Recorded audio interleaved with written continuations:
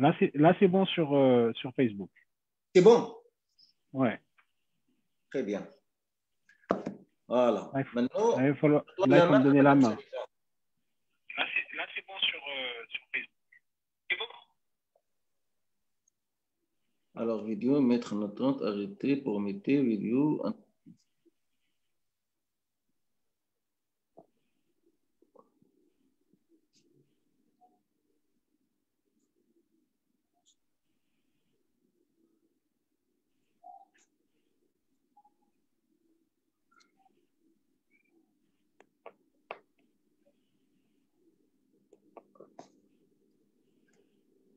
Voilà. Madame Sharifa, c'est bon? Allô? Ah oui, donc moi, je, vous entends. Je vais commencer à faire le partage. Donc,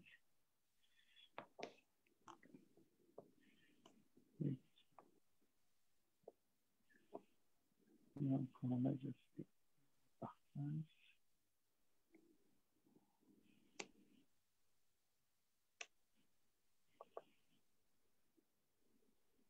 Sharifa, vous avez la main déjà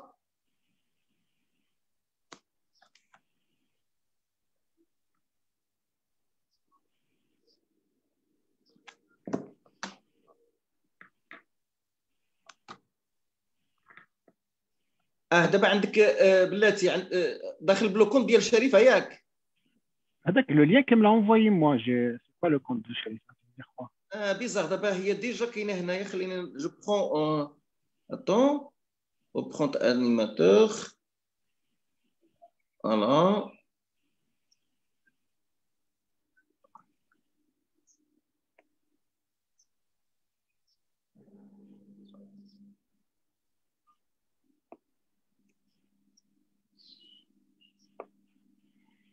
Ah, il y a marqué Sharifa sur mon nom à moi. Bizarre ça. Ah, ah bizarre, voilà. Donc, je n'ai pas compris. Là, c'est mieux. Moi, Madame Sharifa, c'est marqué Sharifa sur, sur mon nom aussi. Oui, parce que peut-être le lien que je vous ai envoyé était déjà enregistré avec mon nom. Bon, essentiel qu'on est, qu'on est là. Là, elle, euh, peut, elle, elle peut la changer, pas... elle peut changer. Là, ah. Agat euh, euh, c'est Zohir. C'est le nom d'elle. Ok.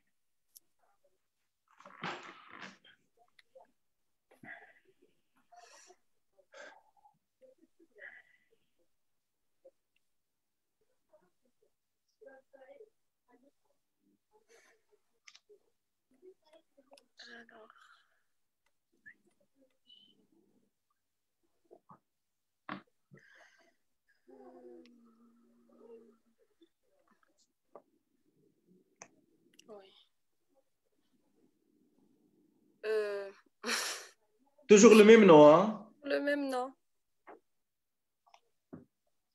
Ah, il a juste.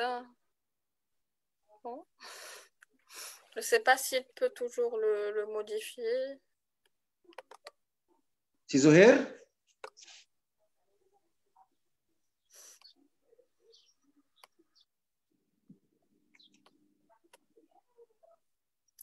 Vous pouvez, euh, si vous pouvez faire juste euh, renommer c'est bon, c'est bon, c'est bon. Là, c'est bon. Il faut juste me donner la main. D'accord. Et moi aussi. Si vous pouvez nous donner tous les deux le code. Alors, alors je donne la main à Madame Sharifa en tant que animateur et ça? Non, mais animateur, c'est ça. Voilà. Et ah. voilà, Madame Sharifa, tu donnes la main à Monsieur Osama en tant que panéliste ou euh, co-animateur. D'accord. Tout de suite. Voilà. Très bien. Et j'ouvre ma caméra. Alors, je vais, faire, je vais faire juste une manip. Hop. Rapidement. Oui. Ensuite, lecture. Diaporama. Nouveau partage.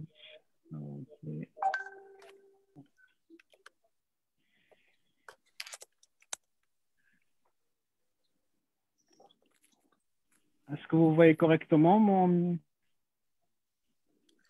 Oui. Oui. Oui, oui. Excellent. Très bien. Bon. Et déjà, le live, il est aussi euh, visible.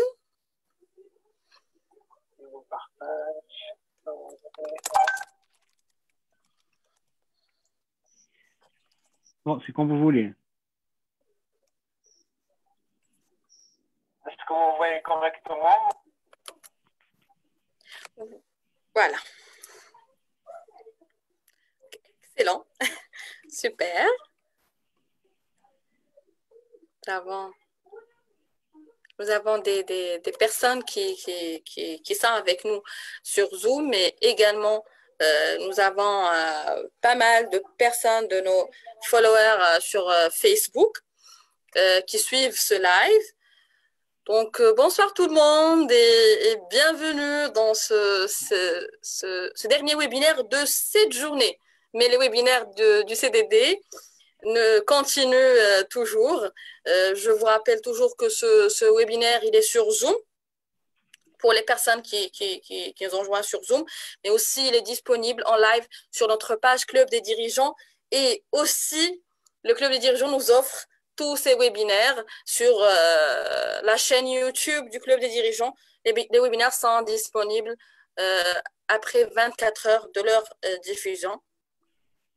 Donc, encore un grand merci pour ce, ce, cet effort exceptionnel que fait notre club des dirigeants sous le lead de, son président Cédric Drif. Merci Cédric pour votre présence aujourd'hui et tous les jours.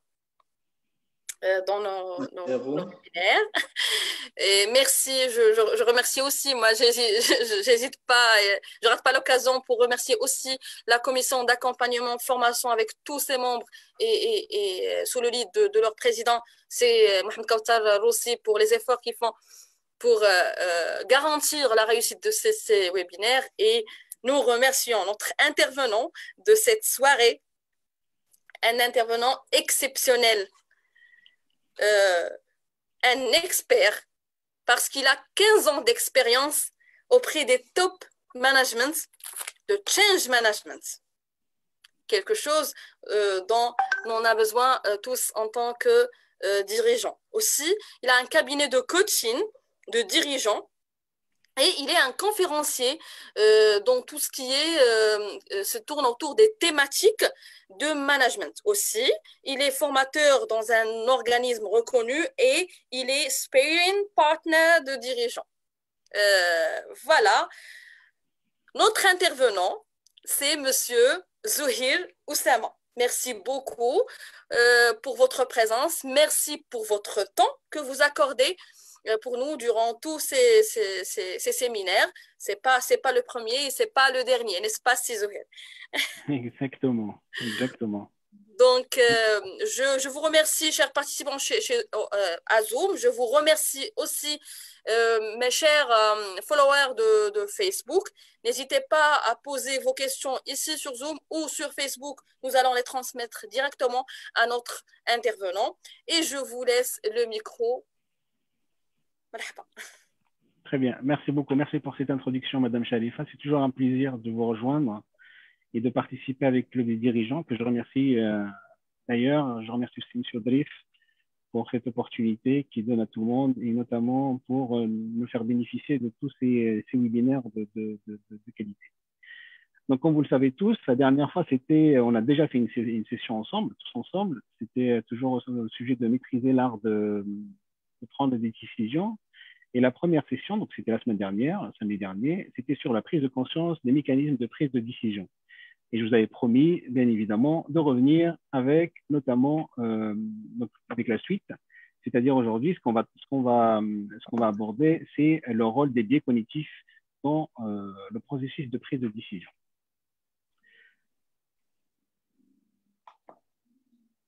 Donc aujourd'hui, l'ordre du jour, donc, euh, ce qu'on va aborder aujourd'hui, c'est qu'est-ce qu'on qu qu entend par euh, quand on parle du les biais de quoi parle-t-on? Donc ça, c'est un des premiers éléments qu'on va aborder. On va aborder également les systèmes de pensée, qui sont, très très importants à connaître pour, comprendre notamment euh, le, fonctionnement de notre cerveau. Et ensuite, je vais vous faire euh, vivre quelques expériences, notamment sur les biais cognitifs, les top 8 des biais cognitifs que j'estime euh, très important, notamment euh, dans le processus de prise de décision. Voilà, et ensuite, bien évidemment, à un moment donné, une fois qu'on connaît ces biais, cognitifs et leur impact, c'est important aussi d'avoir quelques points, quelques solutions, quelques euh, key points pour comment limiter, pour, pour traiter le, le, comment limiter ces impacts de ces différents biais cognitifs. Et à la fin, il y aura un bonus, plus une session feedback et questions-réponses. Donc, comme la dernière fois, vous savez très bien que euh, euh, il y aura beaucoup d'interactions. Donc, on va fonctionner en interaction. Donc, il y aura des, euh, questions-réponses et des expériences, des expériences sociales. Donc là, j'ai envie de poser une question j'ai envie de poser une question, mais avant de poser la question, je demande à Madame Chalifa d'avoir au moins deux ou trois volontaires. Donc, qui vont. Ah. Allô Allez, cher, euh, J'ai besoin, de trois ou quatre volontaires qui lèvent la main avant que je pose la question. D'accord. Donc, voilà. on a besoin de quatre volontaires qui ne savent pas la question, mais ils, ils sont prêts à jouer le jeu, de lever la main et de répondre à cette question surprise. C'est une question qui est bienveillante, il n'y a pas de piège. Il n'y a pas de piège, donc euh, allez-y, jouez le jeu.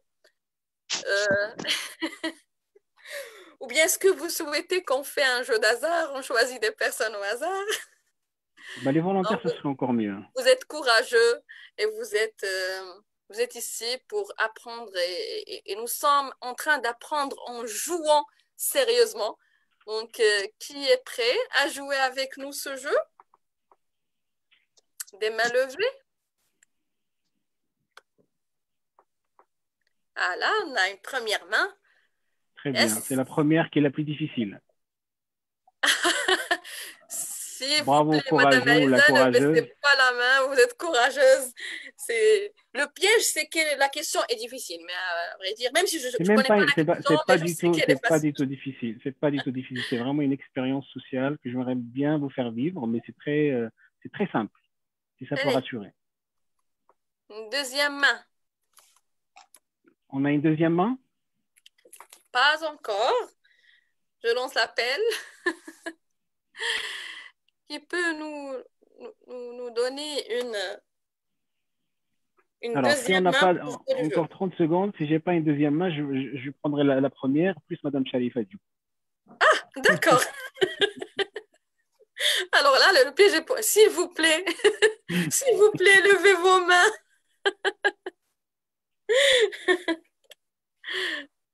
Donc on y va. Donc on a, on a qui avec nous? On a Madame euh, Aziza. Donc, on peut lui donner le micro pour, oui, pour dire bonjour. Vous juste activer votre micro et, et dites-nous bonsoir. oui, oui, bonsoir. Bonsoir euh, à vous deux. Et, là, je m'inquiète. Hein. Avant même que vous posiez votre question, je commence à m'inquiéter. Non, il ne faut pas du tout, pas du tout. Merci. Bonsoir, merci, merci beaucoup pour votre courage. Euh, la, question, elle est, la question, elle est simple. Donc, du coup, ça va être pour vous et pour Madame Sharifa. Alors, si ça veut, alors, je clique pour la faire apparaître, si ça veut bien. Oui, je suis là. J'ai invité les gens à jouer sérieusement, je joue sérieusement. Alors, la question, voilà. Je suis le frère de deux aveugles. Pourtant, ces deux aveugles ne sont pas mes frères. Comment est-ce possible? Vous avez 30 secondes. Je suis le frère des deux de deux aveugles. Pourtant, ces deux aveugles ne sont pas mes frères. Comment est-ce possible? Ben, Je ne sais pas, mais je vais improviser quand même. Probablement, je suis la sœur de deux personnes qui sont aveugles mentalement, qui ne voient pas la réalité en face. Uh-huh. Mais familialement, il n'y a, a, aucune relation qui nous relie, je pense. Madame Sharifa Merci, Madame Adita. Oui. Je ne sais pas, une réponse que je reçois maintenant, peut-être une, réponse de fatigue, c'est que ces deux aveugles sont des femmes. Donc, ce sont mes sœurs et pas mes frères. Très, très bien. Très, très bien. Ce sont vos deux sœurs. Ah, super, yes, j'ai gagné. je vous ai dit, jouez sérieusement, allez. bravo, bravo, bravo. Donc, ça veut dire que, en fait, Merci Il y avait beaucoup. quel- Donc, il y avait, donc là, c'est tout simple. C'est très intéressant parce que du coup, en prenant les deux, les deux, euh,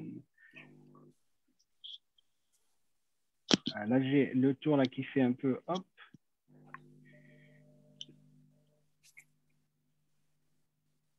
Désolé pour ce bug. Ça va arriver. Ça va arriver. Ensuite, donc en fait, on a en fait ce qui se passe, c'est que c'était très rapide.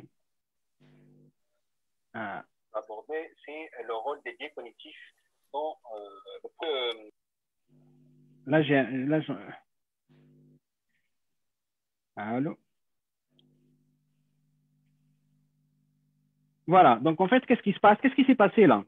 Donc, là, en fait, on a euh, on, euh, Daniel Kaman, donc, qui est psychologue et prix Nobel d'économie, a montré que nous utilisons en fait deux modes de pensée. Donc, le système 1 que vous avez sur votre gauche et le système 2. Le système 1, en fait, c'est tout simplement des pensées rapides, intuitives et émotionnelles. Donc, tout à l'heure, quand Madame Aziza disait ah, peut-être que je suis donc euh, la sœur d'un des aveugles, etc. Donc, en fait, voilà. Donc, il y a en fait le système rapide. Qu'est-ce qui va se passer Qu'est-ce qu'il va faire? Il va aller tout droit vers euh, l'autopilote. La première question, la première réponse qui vient à l'esprit pour la traiter très rapidement. Donc, c'est un exemple, un autre exemple que je vous donnerai avant d'aller plus loin sur le, euh, ce système 1 euh, de la pensée automatique. Euh, un autre exemple concret. Donc, imaginez vous êtes en situation de sélectionner deux ou trois prestataires sur une prestation quelconque. Vous allez finir généralement par sélectionner lequel, d'après vous? En fait, vous avez, vous avez fini par choisir celui avec qui vous avez le, le meilleur feeling, plus d'affinité. Et là aussi, c'est un exemple de pensée rapide. Vous vous basez sur votre ressenti pour prendre votre décision.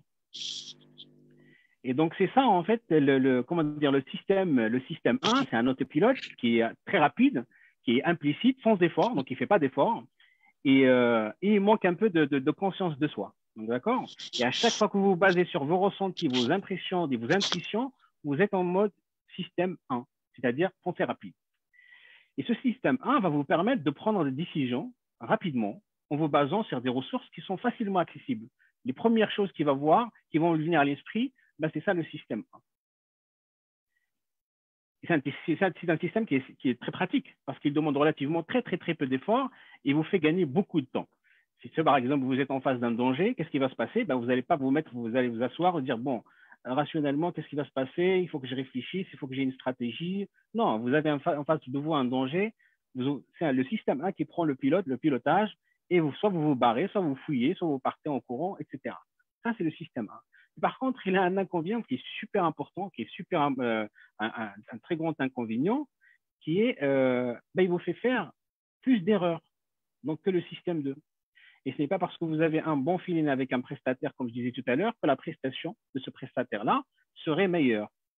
Donc, la, la pensée rapide est pertinente dans certains cas, mais pas dans tous les cas.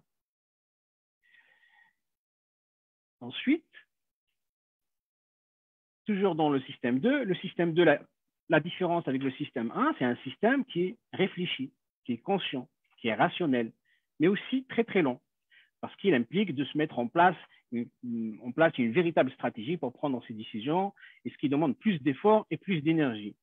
Par exemple, imaginez le matin, quand vous vous réveillez, et vous décidez de prendre votre douche, de choisir vos vêtements, et euh, voilà, de brosser vos dents, etc., etc. Qu'est-ce qui se passe? Comment c'est quoi? Quel système qui prend le relais et quel système qui, qui décide euh, quand vous vous réveillez le matin? Et donc ça, c'est une question que je, je pose à tout le monde, que ce soit par chat, vous pouvez poser des, ques- des, réponses par chat, mais quel système Est-ce que c'est le système 1 ou c'est le système 2 Quand vous vous réveillez le matin, pour vous habiller, pour choisir vos vêtements, pour prendre une douche, pour décider de prendre une douche, décider de brosser les dents, quel système? Est-ce que c'est le système 1 ou le système 2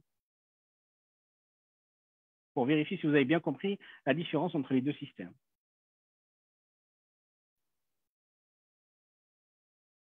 Donc, je ne sais pas s'il y a des interactions avec Mad- Madame Sharifa.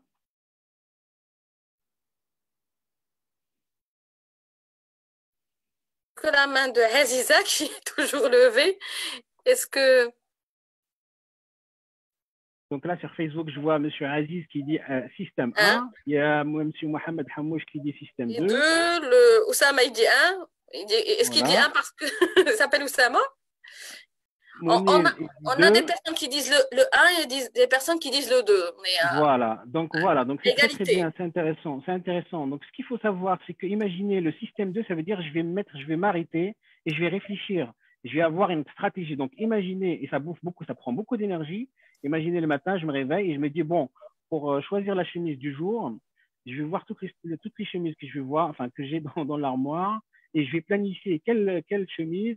Voilà, donc si je commence à utiliser le système 2 pour choisir ma chemise, euh, la- voilà, donc on n'en sort pas quoi. Donc ça veut dire toute mon énergie, je vais la mettre dans le choix de la chemise.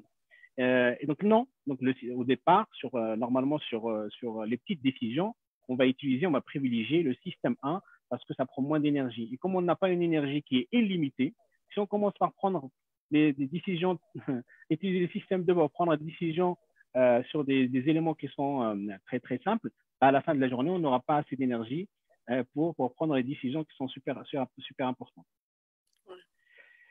Euh, donc, le système 2, si je reprends l'exemple de- du prestataire, bah, pour, mieux, pour mieux comprendre encore, euh, bah, au lieu de vous baser sur vos feelings pour prendre votre décision, vous allez peut-être vous allez vous dire que je dois sélectionner euh, un prestataire en, faisant appel à mon système 2, parce que lui, du coup, c'est quand même important. Je ne vais pas juste me baser sur le système 1, intuitif, émotionnel et affectif.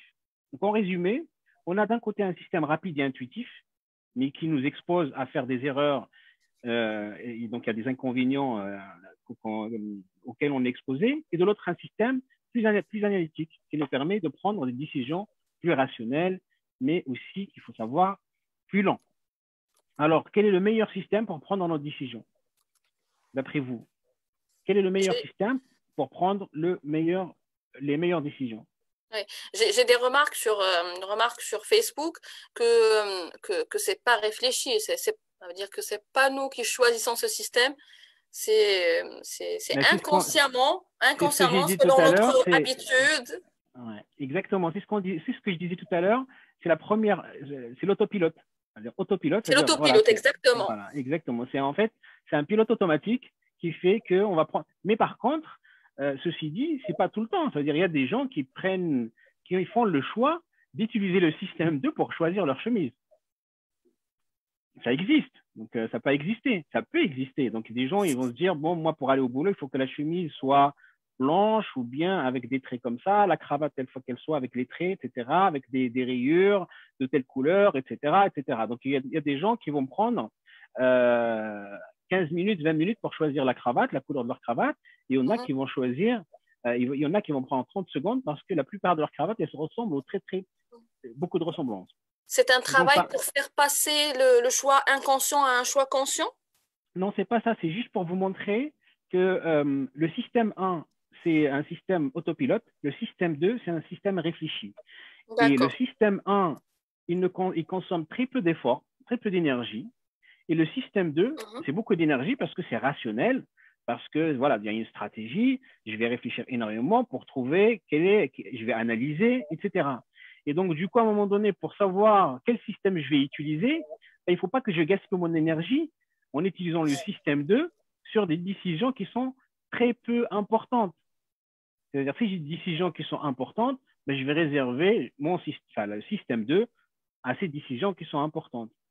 Donc là, on va le voir, je crois que j'ai... euh, euh, donc voilà, donc ça c'était la question. Quel système qu'on doit privilégier? Ben, Plus, plus mon, euh, ma décision à prendre, elle est très impor- elle est importante, plus elle est importante, plus je vais utiliser le système 2. Je vais privilégier le système 2. Alors, il y a quelqu'un qui me dit le système 2 qui est le conscient qui décide, car c'est bien réfléchi et consomme beaucoup d'énergie. Euh, tout à fait. Mhm. Voilà. Euh, quel est le bon système? Car j'utilise euh, beaucoup le système 2. Alors, voilà, donc ça c'est une bonne question. Quel est le bon système? Ben, Le bon système, c'est à vous de voir, parce que le bon système, ça veut dire, euh, il faudrait que quand même sur les grandes, sur les, les- comment dire, les, les, les, les- les décisions qui sont importantes, il faudrait que j'ai de l'énergie. Il faudrait que j'ai suffisamment d'énergie pour réfléchir, pour, pour rationaliser, pour analyser, etc. Donc, si je commence à utiliser dès la- pour chaque décision que j'ai dans la journée, peu importe son importance, je vais utiliser le système, le système 1, bah, c'est un peu compliqué. Ça va être un peu compliqué à la fin de la journée. C'est une, une- j'ai une décision importante à prendre. bah, je serai épuisé. Donc, on n'a pas une- notre énergie est limitée. Donc, euh, on peut pas, on peut pas euh, baser toutes mes décisions sur le système 2. Donc, c'est à nous de voir est-ce que on est, euh, est-ce que c'est une, une décision importante ou moins importante? Comme le dit Boukhaddous, euh, ça dépend des situations. Exactement. C'est pourquoi je disais, il n'y a pas un, un- un- un système meilleur qu'un autre. Il y a juste des situations qui sont mieux adaptées que d'autres. D'accord? C'est-à-dire que si, si par contre j'ai une décision importante, je ne vais pas me mettre sur autopilote. Et là, c'est, l'objet de toute, de toute cette, ce webinaire. Donc, le meilleur moyen de savoir quel système utiliser est de considérer l'importance de votre décision. Pour le petit décision du quotidien, on utilise le système 1 vous allez gagner beaucoup plus de temps et d'énergie et vous limiterez la fatigue décisionnelle, si je peux dire. Après, faire des erreurs, euh, comment dire, en revanche, pour les décisions qui sont plus importantes et complexes, bah, évidemment, on va choisir le système 2. Ensuite, en fait, chaque fois, il me le refait quand je clique. Voilà, donc système 1, donc là, euh, le système 1, euh, ce qui est important aussi à savoir, c'est que euh, ça consomme 95% de notre énergie. Le système 1. Euh, enfin, pas l'énergie, mais c'est- c'est euh, 95% de nos décisions, c'est du système 1. Donc, ça montre à quel point on use de ce système 1. Et donc, si on a 95% d'un côté et 5% de l'autre, bah, tout de suite, on va se dire, bon, comment ça se passe, ces 95% Parce que ça, représente quand même la majorité, la, grande majorité absolue, pratiquement, de, nos, de systèmes qui prennent des décisions. Alors, je vais aller tout doucement, hop, pour faire afficher. Il y a eu une question sur Facebook euh, qui, qui demande est-ce que le système 1 qui est utilisé euh, dans la vente pour inciter à acheter Alors, pas du tout, pas du tout. Le système 1, en fait, c'est l'intuition et l'instinct. En fait, c'est inconscient. C'est le, système le plus rapide, en fait, qui va associer des éléments, euh, soit qui sont dans le vécu, qui sont dans le passé, qui sont stockés dans sa mémoire, et il va, les associer et va, sortir, et il va sortir directement avec la décision inconsciemment. Et on va le voir. Je vais répondre un peu plus loin sur, pour cette, sur cette question. Donc, euh, comment dire, Daniel Kahneman et, Tversky ont mis en évidence que le système 1 il est, sujet au biais cognitif. Et donc, c'est l'objet de, ce, notre, euh, webinaire. Et l'autre, système est plus réfléchi et logique, permettant d'éviter ces biais cognitifs. Ça, veut dire quoi? Comme on a 95%, comme on utilise le système à 95%, et comme on est, sûr que à, à cause du système 1, euh, on est au sujet au biais cognitif, à un moment donné, il faut se dire, ben, comment est-ce qu'on va avoir conscience euh, de, ces biais cognitifs? Donc, c'est important d'avoir conscience de ces biais cognitifs pour, euh, limiter leur, leurs impacts. Donc, et en plus, même l'autre question qui est encore plus, importante, c'est avoir conscience, est-ce que ça suffit pour s'en prémunir donc, c'est l'objet de, ce webinaire. Alors, les biais cognitifs, Kizako, ça veut dire quoi? Est-ce qu'il y a quelqu'un qui peut me dire qu'est-ce que ça veut dire les biais cognitifs, s'il vous plaît? Les biais cognitifs. Avez-vous des réponses? Alors, les biais cognitifs, est-ce qu'il y a des gens qui peuvent me dire qu'est-ce que ça veut dire les biais cognitifs? Vous pouvez l'écrire normalement... sur le chat ou. ou... Oui, ouais, voilà. Donc, sur le chat, sur Facebook, oui. n'hésitez pas. Qu'est-ce oui. que ça veut dire les biais Alors, il y a Mme Aïza qui, qui, qui, qui, qui, va nous donner peut-être une réponse? Très bien. Elle a ouvert le, micro, le micro. Ou bien c'est moi, par erreur, que, que, que je l'ai ouvert? Oui, oui, oui, exactement. Euh, merci. Euh, ben, pour les billets, je ne sais pas, mais pour le terme euh, cognitif ou bien la cognition ou bien la cognition, ce n'est pas nouveau pour moi. En fait, j'ai eu l'occasion d'étudier ça dans la grammaire générative de Noam Chomsky. Et donc, mm -hmm. là où il parle de la, du système co cognitif ou bien cognitif, et que le langage est inné. C'était dans ce contexte-là que j'ai connu la, la, science ou bien cette, euh, la cognition, tout simplement. D'accord. Mais, mais le, les billets, non, je ne sais pas, je ne peux pas répondre. D'accord, très bien. Merci.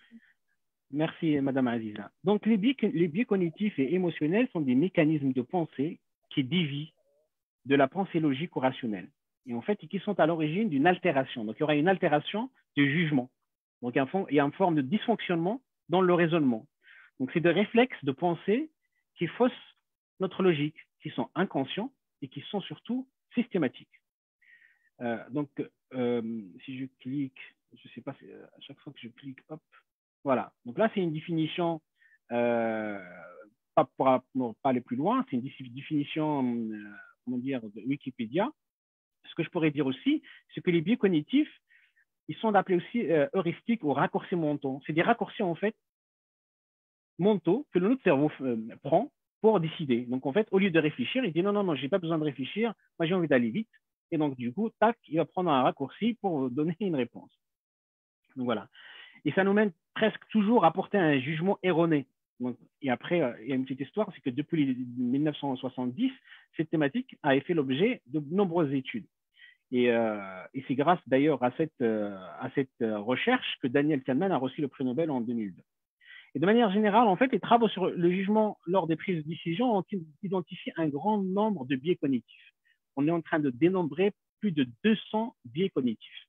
Donc, ils sont à l'origine d'erreurs qu'on commet euh, tous, et notamment aussi les décideurs, parce que euh, les biais cognitifs, euh, ça intervient énormément dans les décisions de nos, nos dirigeants, de nos dirigeants. Donc, ce soir, ce qu'on va exposer, c'est, je vais vous exposer le top 8 des, euh, des biais cognitifs qui sont en lien avec les prises de décision. Est-ce que c'est clair jusqu'à maintenant? Je sais que ce n'est pas un sujet qui est super euh, limpide. Et si, si, vous souhaitez des éclaircissements ou vous, vous voulez carrément prendre la main pour poser votre question, n'hésitez pas juste à lever votre main et euh, vous aurez l'occasion de, la poser directement aussi euh, sur Facebook. Vous pouvez euh, écrire vos, questions au fur et à mesure. Très bien. Et donc, là, là, je vais vous présenter le biais d'ancrage. Le biais d'ancrage, que ça veut dire Donc, avant de, vous expliquer, je vous, je, vous, enfin, je, vous, je vous suggère de regarder rapidement cet extrait en espérant, hop, que cela se lance. Est-ce que ça va se lancer? Allez.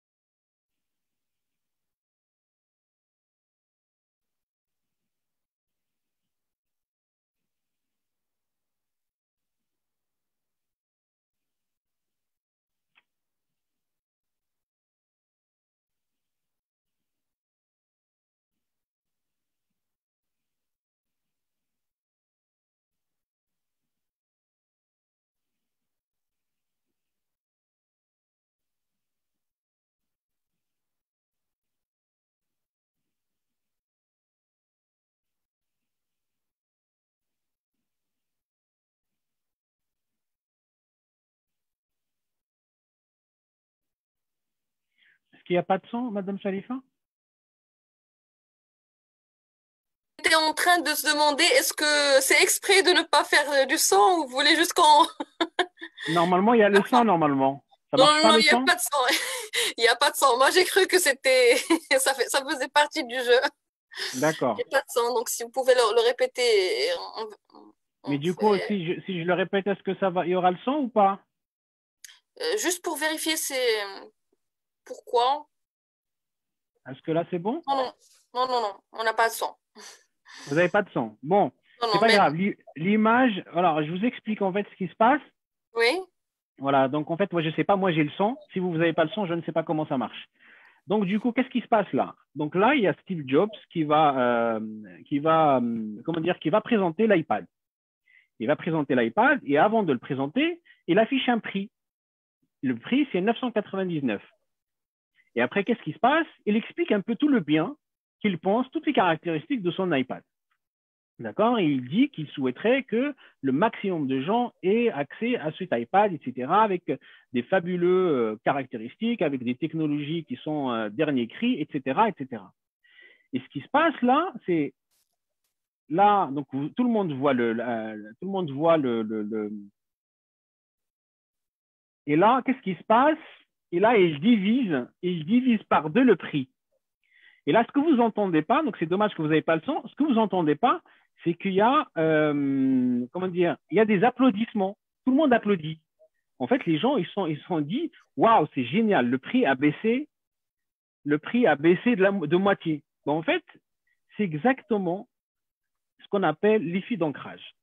C'est-à-dire que le fait d'avoir affiché le prix à 999, donc ça, tout le monde disait, ah, ça, c'est le prix. Donc, comment dire, notre, euh, notre, notre cerveau, il y, a un, il, y a, un prix, et donc là, c'est le, prix de référence. Et le fait, donc lui, là, c'est une stratégie, hein, c'est une stratégie qui est connue, c'est le, biais d'ancrage. Et donc, qu'est-ce qui se passe?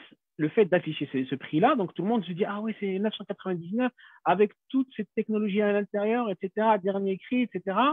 Donc, quand il divise par deux le, le prix, tout le monde pense que il a, enfin, il y a, il y a, il y a, il y a comment dire, il y a, il y a, une, il y a une baisse de prix. Mais en fait, le prix, il, il a jamais, il a pas baissé du tout. Le vrai prix, c'est 499. C'est ce qu'on voit aussi dans les soldes. C'est ce qu'on voit dans, euh, dans, les, dans, les, marchandages, etc. L'histoire des soldes. voilà. Et en fait, qu'est-ce qui se passe vont bien comprendre ça.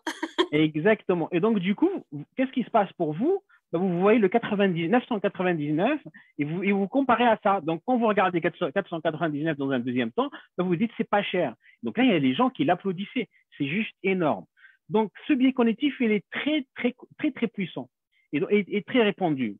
Donc, le biais d'ancrage, c'est un mécanisme cognitif où l'on part d'un point d'analyse, comme je disais, euh, donné, et qui ancre euh, dans le cognitif de l'individu et qui va servir de base de référence à toutes les informations qui vont découler après. Parce que vous, voyez, vous avez vu, là, ici, là, il l'a annoncé combien? Quelques secondes, 12 secondes après, 14 secondes après, il l'affiche dès le départ. Donc là, tout le monde se dit, c'est bon, 999, tout le monde s'ancre là-dedans. Donc il y a une référence. Donc voilà. Et donc toute nouvelle information qu'il va dire après, ça va être toujours analysé en fonction de, de cet ancrage-là qui a été réalisé. Et c'est super puissant.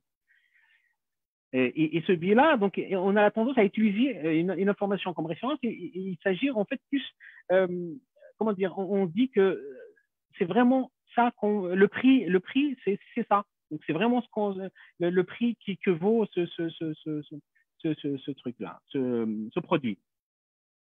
Et donc, ce, ce biais d'ancrage, ça peut arriver aussi, c'est utilisé, fortement utilisé dans les négociations. Donc les négociations, c'est pour ça on vous dit euh, généralement il faut il faut euh, comment dire il faut donner il faut être le premier à donner son prix. Parce que sinon vous allez être ancré par euh, le, par par le le, le, le, prix de, de, votre adversaire ou de votre concurrent voilà. Donc si je peux dire ça comme ça. Parce que si c'est le premier le premier qui va prendre la parole et va donner le prix pour négocier un contrat par exemple c'est ce prix là qui va être ancré et, et, et, voilà, et donc ça va être la référence en quelque sorte. Donc ce biais, il est très, très puissant. Alors ensuite, alors le biais des coûts est, euh. Donc je ne sais pas si Madame Aziza connaît la réponse aussi sur, pour ce biais-là. Moi, je suis preneur, ou sinon quelqu'un d'autre, ça serait, ça serait très intéressant. Qui peut nous, nous répondre. D'ailleurs, Madame Aïe, elle parlait, quand, quand on a parlé de marketing, elle dit sur le chat, il, il s'agit d'un enjeu marketing, pas en crash, c'est de la manipulation aussi du client potentiel. En fait, c'est. On peut parler de manipulation là-dessus. Alors, en fait, c'est l'utilisation d'un biais. C'est un biais. En fait, c'est une déformation. C'est pas forcément une manipulation parce que quand je vais vous dire maintenant, je vais vous dire à tout le monde, ça, ça existe. Vous savez tous qu'il y a le biais d'ancrage. Vous allez sortir maintenant, là, vous allez faire vos courses et vous allez voir euh, des soldes. Là, vous allez vous, allez vous tomber, tomber encore dans le panneau même si vous le savez. Et donc, ce n'est pas forcément de la manipulation, de la manipulation mais c'est votre système 1 qui va prendre ce raccourci de dire Ah oui, c'est une belle affaire. Donc là, je vais prendre. Et donc, voilà. Donc, euh, ce n'est pas que de la manipulation. Donc, si je reviens, si je reviens donc, sur Facebook, je.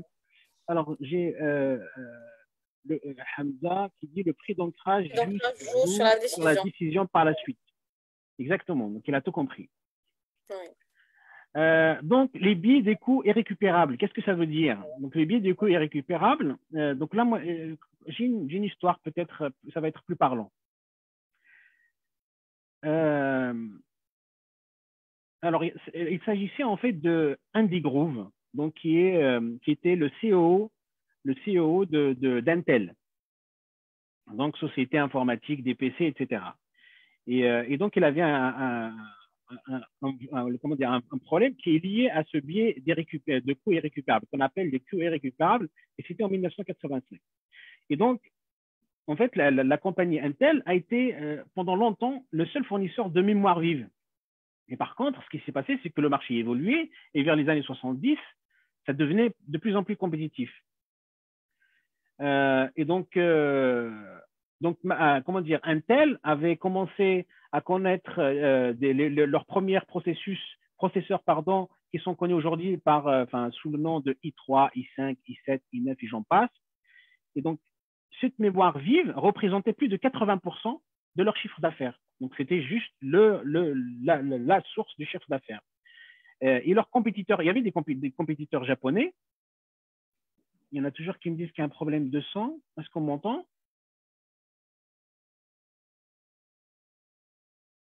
Madame Sharifa euh... Vous m'entendez?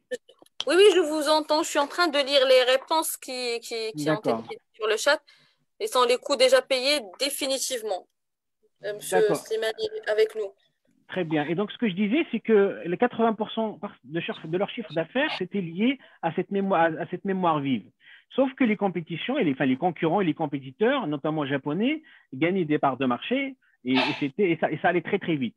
Donc, à un moment donné, ils se posaient la question, donc voilà, les, les leaders d'Intel, est-ce qu'ils allaient continuer à miser sur euh, les technologies de manufacture? Et, et d'autres leaders voulaient doubler leur, leurs efforts de recherche et développement. Et il y avait encore un troisième qui voulait miser sur les marchés spécialisés. Et donc, il y avait un vrai débat. Qu'est-ce qu'on va faire? Et donc, une fois, et donc là, c'est Andy Groove qui raconte euh, un peu sa discussion avec euh, Gordon Moore, donc qui est PDG d'entreprise et président du conseil administratif. Donc, il lui disait que les temps, ils étaient durs. Et donc, Andy Groove a raconté, a eu une idée. Donc, il disait, je regardais la grande roue d'un parc d'attractions tourner au loin. Je suis retourné vers Gordon pour lui demander si je me faisais renvoyer du conseil d'administration et qu'on engageait un nouveau CEO, qu'est-ce que tu penses qu'il ferait? Ça, c'était la question de Gordon à son, à son, à son, à son vice-président, je crois, à son collègue. Et donc, Gordon a répondu quoi? Et ça, c'est très intéressant, sans hésiter, sans hésiter que son, son, son successeur, il allait laisser tomber la mémoire vive.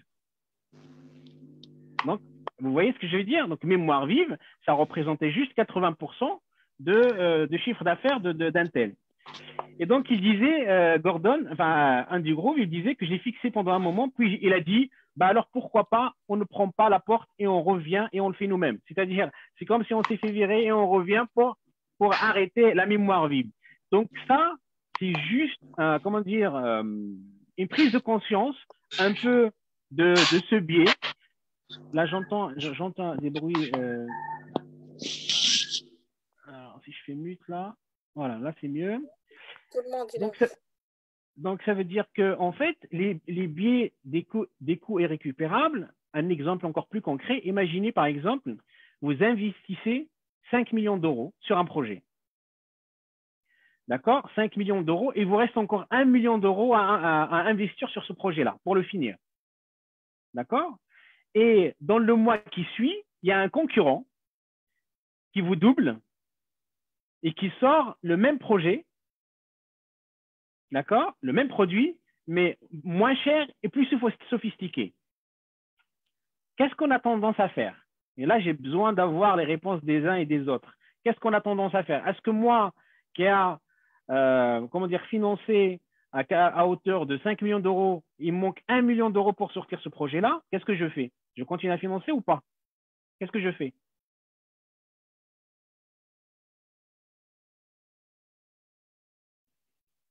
Propositions? Est-ce qu'il y a des propositions?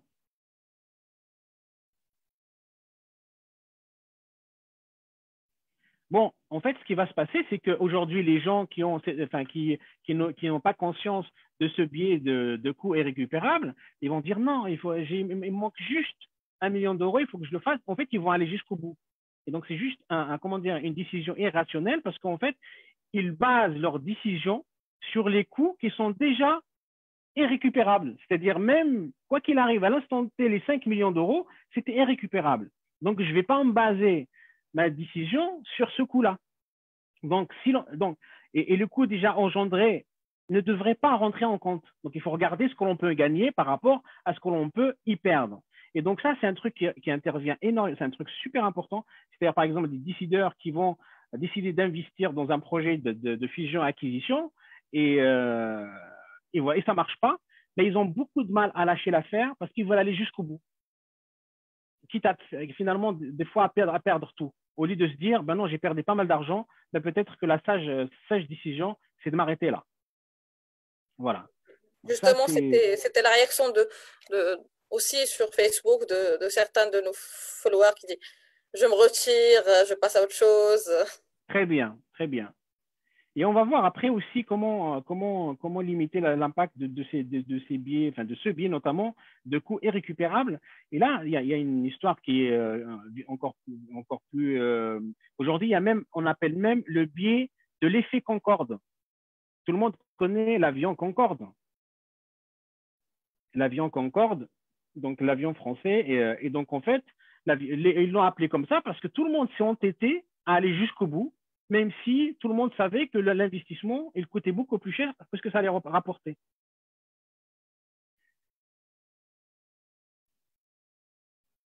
Ensuite, le biais de disponibilité.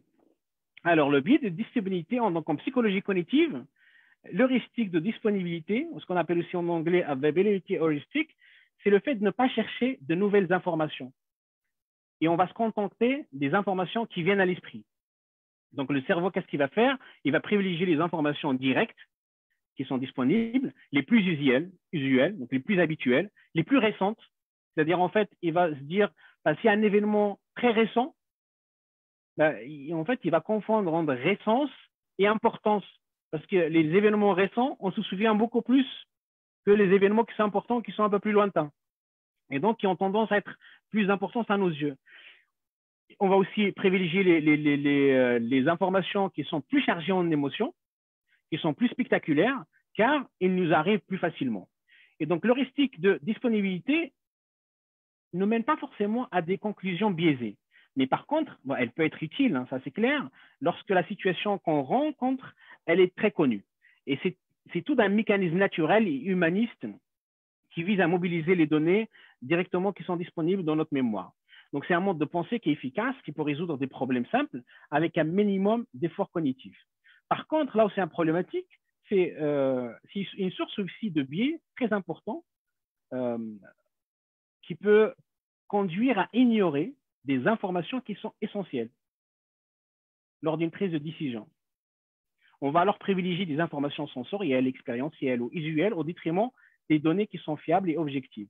Et on aura tendance à prendre en considération plus les événements qui sont, qui, comme je disais tout à l'heure, survenus donc il n'y a pas très longtemps, et on va leur attribuer plus d'importance, par exemple.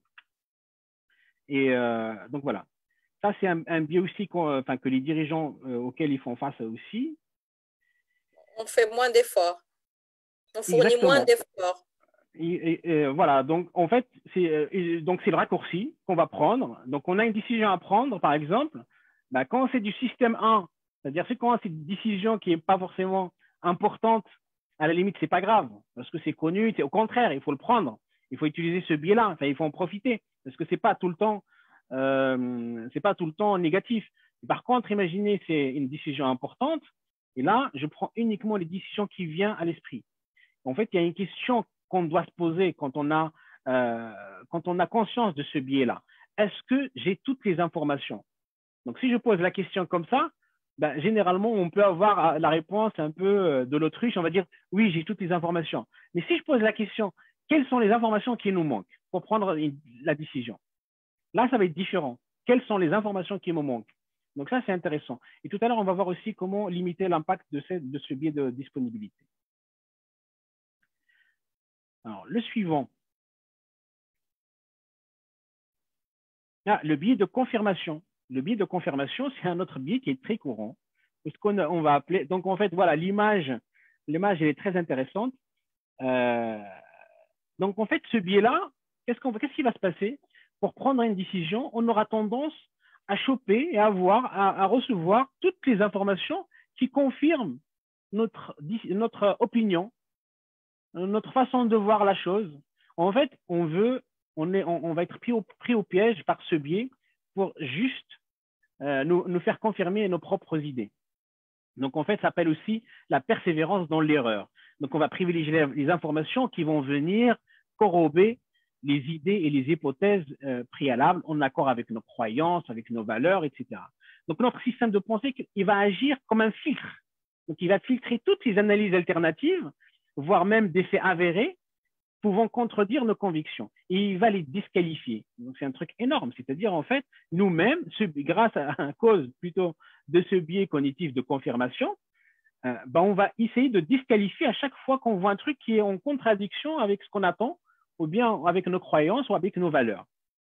Ça a une relation, si avec euh, l'estime de soi? Euh, c'est une très très bonne question. C'est une très très bonne question parce qu'en fait, ce qui se passe, c'est que ça, c'est une conséquence. C'est-à-dire, des fois, pour ne pas montrer qu'on s'est trompé ou bien pour garder cette estime, cette image qu'on a de soi-même, ben on va, comment dire, euh, on va insister en fait, on va persévérer dans l'erreur juste pour préserver cette image de soi. Donc vous avez, c'est une très très bonne question. Alors moi j'ai euh, quelqu'un qui me dit comment y accéder. Donc là, euh,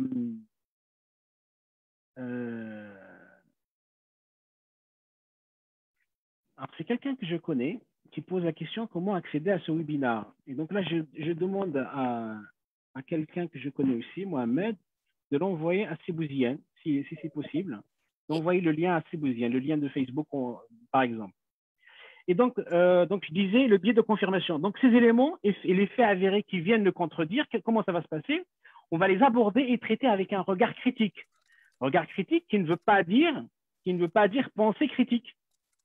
Donc, on va les regarder avec une façon critique et on va traquer la moindre faille dans le raisonnement. C'est-à-dire, si Mme Sharifa vient, elle me donne des, comment dire, des, arguments euh, qui sont factuels, ben, si j'ai ce biais cognitif, là qui est, euh, qui est activé, ben, en fait, je vais, chaque fois qu'elle va me donner un argument, je vais chercher la petite bête pour lui dire, pour lui montrer à quel point elle a, elle a tort. D'accord? Donc, voilà. Et donc, à l'inverse, il y a des analyses même, des analyses même approximatives mais qui vont aller dans le sens de, de, l'individu, ben il, va, il, va plus les, il va plus les recevoir que, que les, les, les, les, faits factuels. Ensuite, euh, je ne sais pas s'il y a des questions. Moi, j'ai un regard sur Facebook. Par contre, les questions sur Zoom, je ne les vois pas. Euh, euh, je, laisse, je, laisse, Madame Chalifa. Sur, bah, sur, sur, Zoom, c'était les réponses par rapport à, au biais qu'on a déjà vu, euh, le fait d'arrêter l'investissement et tout ça. Et, et sur Facebook, il, euh, il, il, suivait. J'ai donné la dernière réponse qui est le, le biais disponibilité, c'est qu'on fait moins d'efforts quand on, quand on est dans le biais de, de disponibilité. Et il y, a, il y, a, une personne qui dit que c'est pas que c'est dit, c'est pas un signe d'excès de confiance en soi, l'utilisation de ce billet. On a, on a parlé de quoi Alors, pas du tout. pas, du, tout. En fait, le, le, biais d'excès de, de, de, confiance, c'est un autre biais. Et d'ailleurs, qu'on verra tout à l'heure. Ça, c'est le biais de confirmation. Euh, on ne veut pas se tromper. Euh, ou bien on veut, voilà, donc il faut que, enfin, les décisions qu'on va prendre, les informations qu'on va chercher, on a tendance à filtrer pour que ce soit en cohérence avec nos croyances, avec nos valeurs, avec nos informations qu'on a déjà, etc. Mais le biais de confiance, on va le voir tout à l'heure. Après, il y a le biais de cadrage. Le biais de cadrage, ça veut dire quoi? C'est en fait la tendance à être influencé de la manière dont un problème est présenté.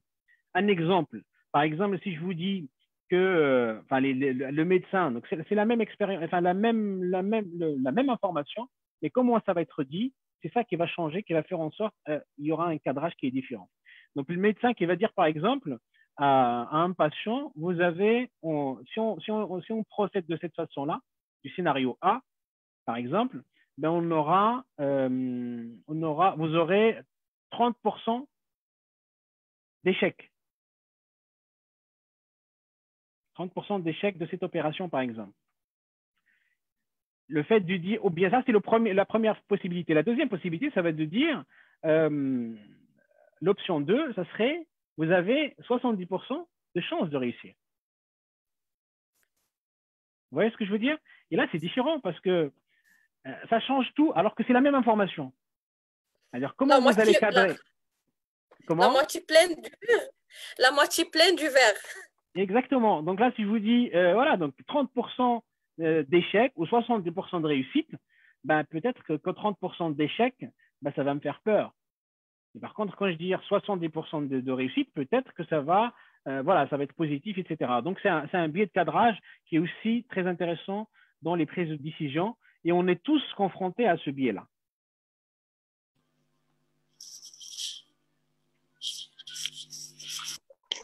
Il y a une personne qui, qui s'est demandé ce que l'intuition nous conduit vers le biais cognitif. Alors, l'intuition. Alors, euh, euh, Monsieur Mohamed, je crois, je crois que alors l'intuition, on l'avait évoqué dans la prise de conscience la semaine dernière. Euh, ce qui est intéressant, c'est que hum, l'intuition, souvent, généralement, quand est-ce qu'on a l'intuition? L'intuition, quand est-ce qu'on a notre intuition, elle est valable? En fait, elle est valable qu'on a quand on, euh, il y, a beaucoup de, alors l'intuition, en fait, quand on a une expérience importante, notre intuition, elle est plus, euh, elle, est, elle est fine, elle, elle est de qualité, euh, etc. Mais par contre, si je dis que bon, moi j'ai cette intuition, je sens que voilà, enfin cet investissement de 3 millions de dollars, j'ai jamais eu cette expérience et j'ai dit ouais, je le sens que ça va marcher. Ben, ça c'est vraiment le système 1 et euh, voilà, donc c'est un biais cognitif aussi, c'est un, biais d'intuition, euh, ça existe tout à fait. Et euh, donc voilà, je voulais dire autre chose, mais ça va me revenir. Sur le fameux intuition, ça va me revenir.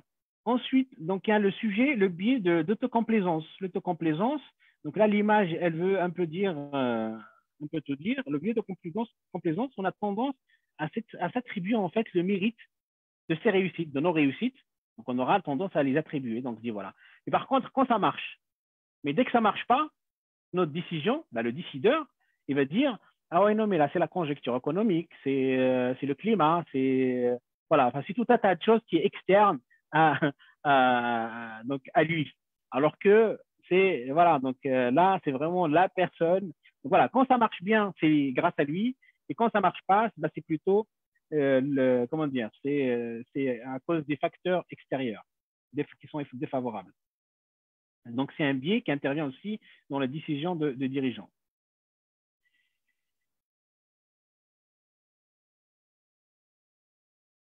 Ensuite,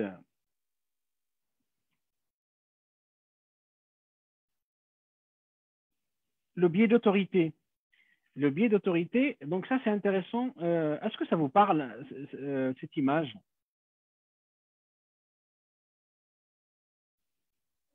Ça vous dit quelque chose, cette image? Est-ce que ça vous dit quelque chose, cette image?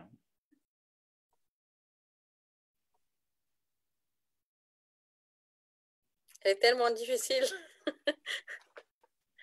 ça représente quoi? Ça représente quoi euh, cette image Shalifa, Madame Shalifa Et euh, un peu d'agressivité quand même, que, ce que je vois. Exactement. Donc en fait, c'est un enfant, c'est un enfant, c'est un garçon. Euh, je pense que c'est le plus jeune qui a été exécuté sur une chaise électrique aux États-Unis. D'accord?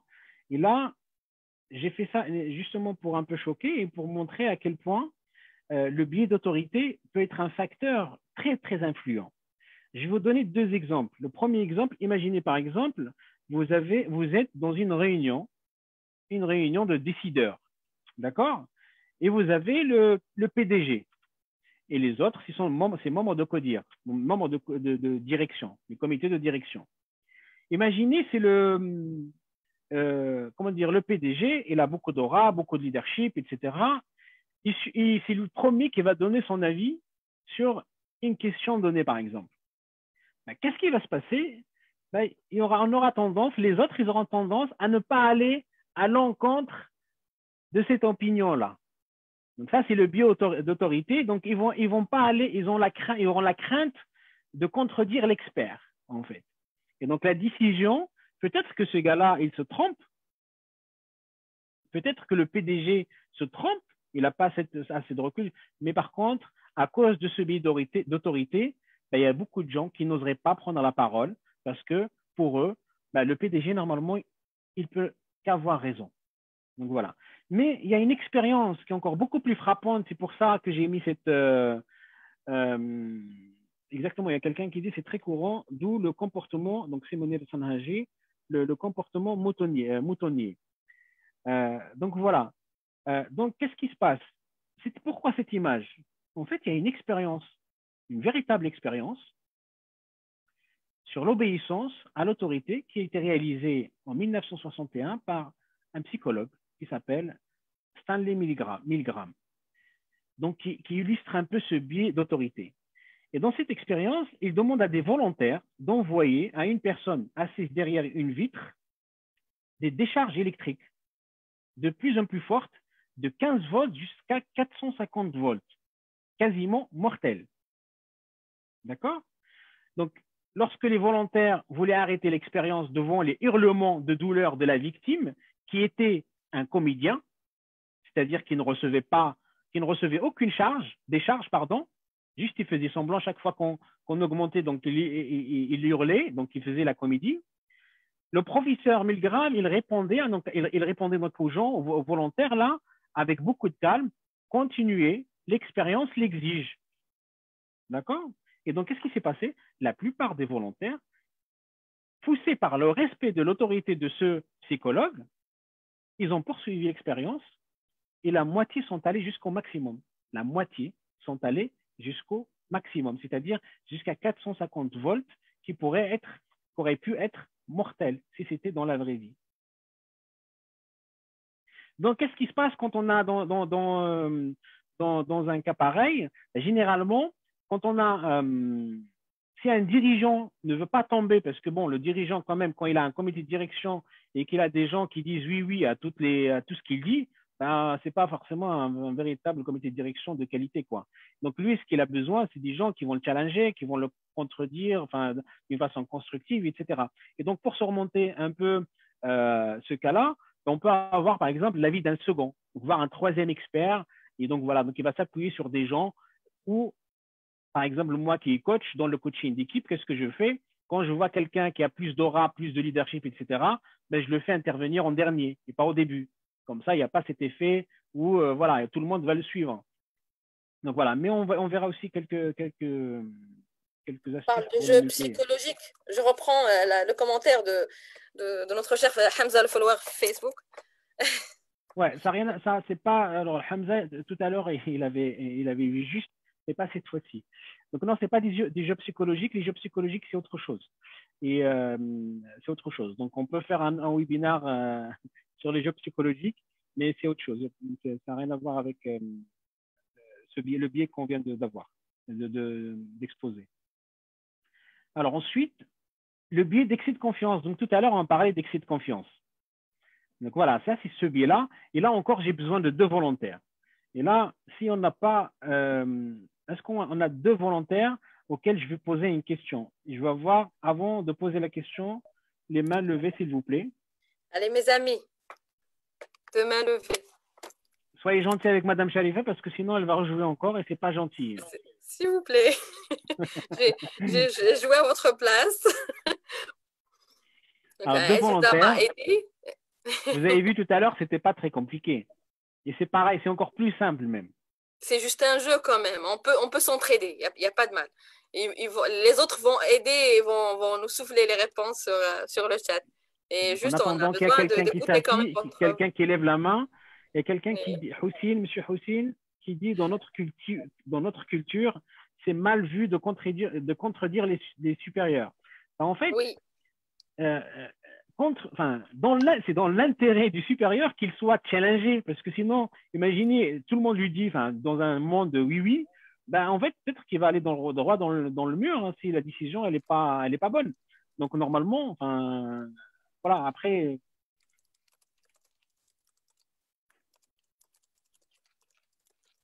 Est-ce qu'on a des volontaires? Pas encore. allez, allez. Alors, est-ce qu'on peut choisir nous-mêmes du Vous coup? choisir au hasard? Allez, on va choisir au hasard. Euh, ben, on commence par quelle Sur lettre? Facebook, sur Facebook, il y a Madame Zineb qui dit volontaire, mais je ne sais pas sur Facebook on peut prendre euh, comment ça marche? Ben, je, je- peux suivre. euh, ben, D'accord. Madame Zineb, je, je vous suis. Vous êtes, euh, vous êtes la première personne euh, qui est prise. Écoutez votre question et je vais euh, attraper votre réponse pour la ramener chez, chez, chez M. D'accord. D'accord, ok. Euh, donc je pose la question. Donc du coup, ça serait Madame Zineb et Madame Sharifa encore une fois. Ah, encore deux femmes. Et là, je, je, je me dis, ils sont aussi courageux. Bravo aux femmes ce soir. hein. Franchement, Il y a- bravo. il y a aussi, il y a aussi un, un monsieur Atrag Mohamed qui dit malheureusement je ne suis Ah, il y a Mohamed Abou Safia qui est volontaire aussi. Yes, j'ai trouvé Très bien. mon Très sauveur. bien. Très Donc bien. il y a monsieur Zineb, monsieur Zineb, Madame Zineb et monsieur Mohamed Abou Safia. Euh, Très bien. euh, nos deux volontaires. Merci beaucoup, monsieur Mohamed. D'accord. Donc la question. Ah donc il y a Monsieur Mohamed Bouatan aussi. Donc ça c'est pas mal. Donc on va poser la question aux trois. Et nous avons Et- en et- plus une main. Très très bien. Bah, c'est très très bien. Donc on va poser la question. D'accord. euh, Donc éc- écrivez dans le chat la réponse. Donc là, euh, en tant que conducteur, j'espère que vous avez le permis tous. En tant que conducteur, comment vous situez-vous par rapport à la moyenne? Vous êtes excellent, bon conducteur, moyen, en dessous de la moyenne. Allez. Madame En tant que conducteur, comment vous situez-vous par rapport à la moyenne? Excellent, bon conducteur, moyen, en dessous de la moyenne. Allez, des réponses. Ben, je suis. Il y a Abi Pixou aussi qui veut. Donc voilà, donc Abi Pixou, répondez, tout le monde. Euh, il y a Mohamed euh, qui dit un vrai pilote. Un vrai pilote. Voilà, donc là, c'est, là, on est vraiment dans l'excès de confiance. Bravo, monsieur Mohamed. Et on a Aziz qui Monsieur dit Aziz, il est bon conducteur. Voilà. Madame Zineb 7 sur Zineb, 10. 7 sur 10. Elle donne une évaluation. Excellent. Euh, qui dit dans la moyenne. Voilà, donc c'est très intéressant. Excellent aussi, excellente, bravo. Très bien.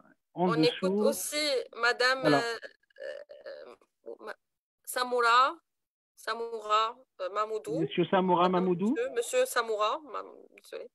Vous pouvez ouvrir, ouvrir votre micro et nous donner votre réponse à cette, à cette question. Excellent, 6 sur 10. Euh, en fait, moi, je me considère comme, en fait, euh, avoir la moyenne dans la conduite, tout simplement. D'accord, très bien. Donc, ouais, donc c'est très, très intéressant. Donc, vous avez vu, Madame Sharifa, sur, le, sur Facebook, j'ai pratiquement que des excellents, d'excellents, de vrais pilotes. J'ai deux moyens ou trois. hein. Donc, c'est juste un, un très, très bon exemple. En fait, ça veut dire quoi le biais d'excès de confiance? On a posé cette question et elle est valable pour toutes les catégories de, de socioprofessionnels. On a posé cette question et 90% des gens pensent qu'ils sont supérieurs à la moyenne. 90% des sondés pensent qu'ils sont supérieurs à la moyenne. Et là, euh, je souhaite la bienvenue pour euh, Monsieur Bouzi Tarawan qui regarde avec nous euh, ce, ce webinaire. Donc voilà, 90% de personnes pensent qu'ils sont supérieurs à la moyenne.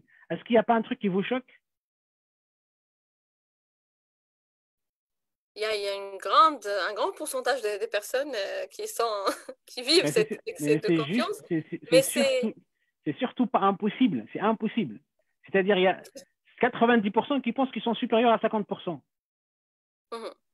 Donc, c'est juste pas possible. Mathématiquement, c'est impossible. Donc, ça, ça montre, ça confirme ce biais d'excès de confiance qui est chez nous tous pratiquement. Et donc là, pareil, vous allez prendre les médecins, 90% de médecins pensent qu'ils sont supérieurs à la moyenne. C'est juste impossible. Donc ça, vous pouvez l'utiliser pour n'importe où. Donc ça vous montre un peu euh, ce biais d'excès de confiance, à co- combien il est, il est répandu. Donc on a tendance, à cause de ce biais d'excès de confiance, à surestimer nos capacités. Donc, euh, donc voilà, donc ça c'est super intéressant. Et donc du coup, imaginez dans la prise de décision, parce qu'on parle de ce biais euh, cognitif pour faire le lien avec les prises de décision. Ben, en fait, le dirigeant, à cause de ce biais de confiance, il va peut-être passer à côté de plein de choses. parce qu'il va se dire, bah, dans l'investissement, euh, bah, voilà, enfin, il, va voir, il va être pris par euh, son enthousiasme, etc. Enfin, voilà. Et donc, du coup, aller prendre, décider d'investir ou bien, voilà. Donc, c'est intéressant d'avoir confiance, mais l'excès de confiance, il faut savoir, il faut, il faut en être conscient, il faut avoir cette prise de conscience de ce biais-là pour le contrer. Excusez-moi, je ne peux pas m'empêcher de, poser cette question.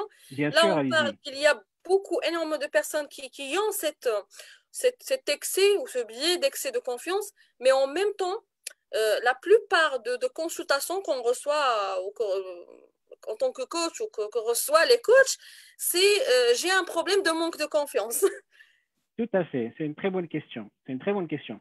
Donc là, encore une fois, donc, comment dire en termes de clientèle, je ne sais pas si c'est des dirigeants que, dont vous parlez ou bien des gens, enfin pas forcément des dirigeants.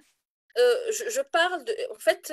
en général en général, c'est un problème qui, ne dépend pas de, de problèmes euh, professionnels, mais, mais, mais ce problème de manque de confiance peut impacter aussi le, côté personnel que, le côté professionnel. Bien sûr. C'est pour ça que ça m'a intrigué cette question.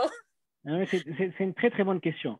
Donc en fait là on, là on est en train de parler de quelqu'un qui va qui a quand même qui comment dire il est dans une posture de décider donc il a cette posture de décision donc normalement euh, en termes de confiance il y a déjà la confiance, euh, comment dire, qui, est liée à, son domaine professionnel.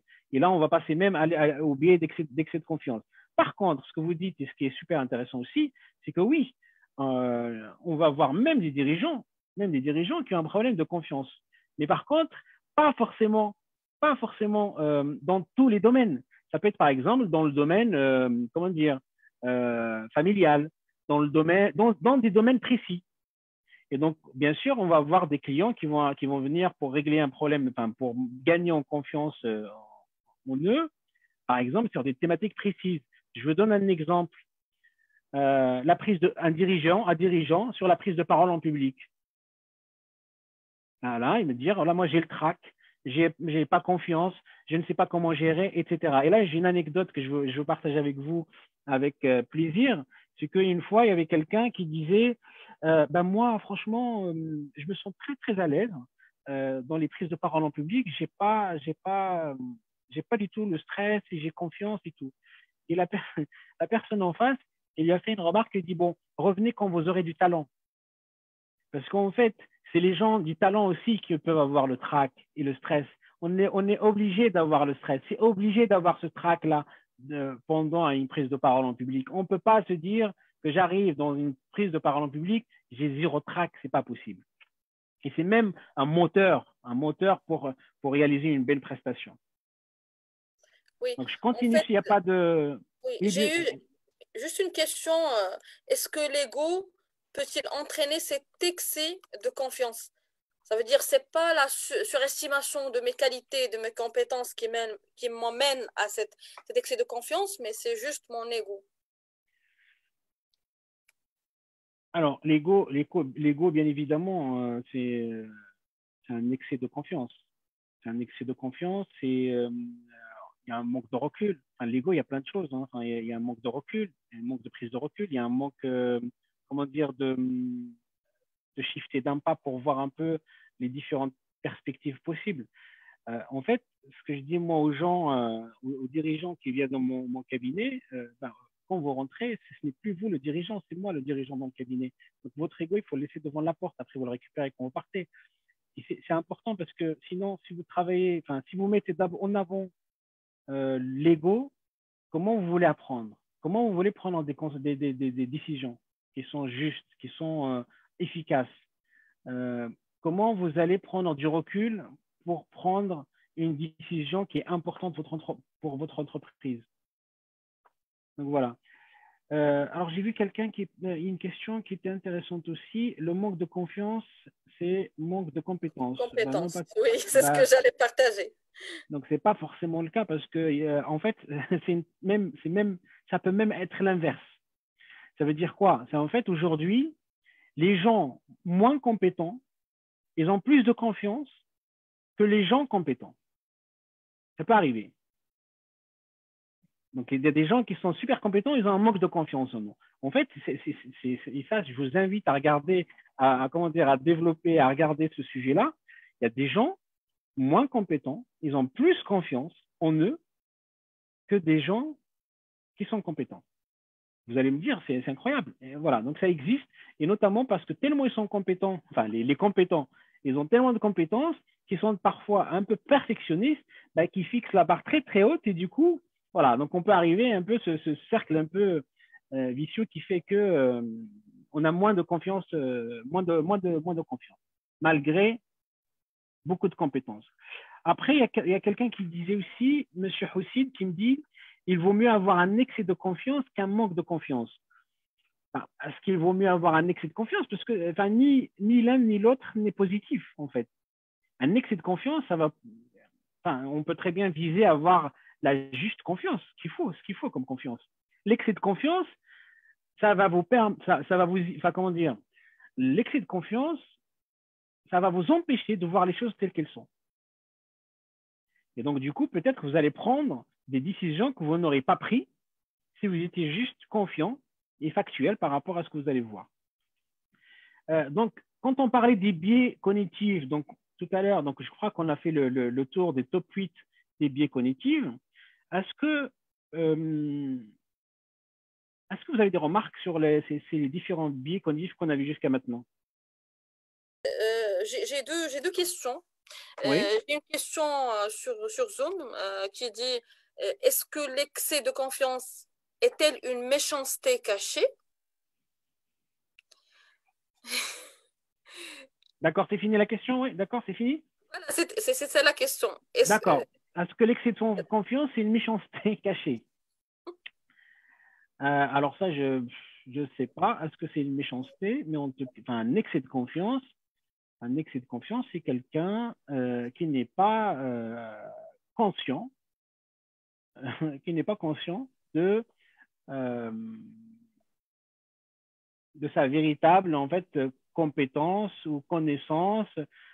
En fait, à quoi ça sert l'excès de confiance? L'excès de confiance, ça peut être même un manque de confiance. C'est une preuve de manque de confiance. C'est-à-dire, on va, on va faire paraître qu'on est très confiant devant les gens, etc. Voilà mais ça va cacher peut-être une, très faible image de soi.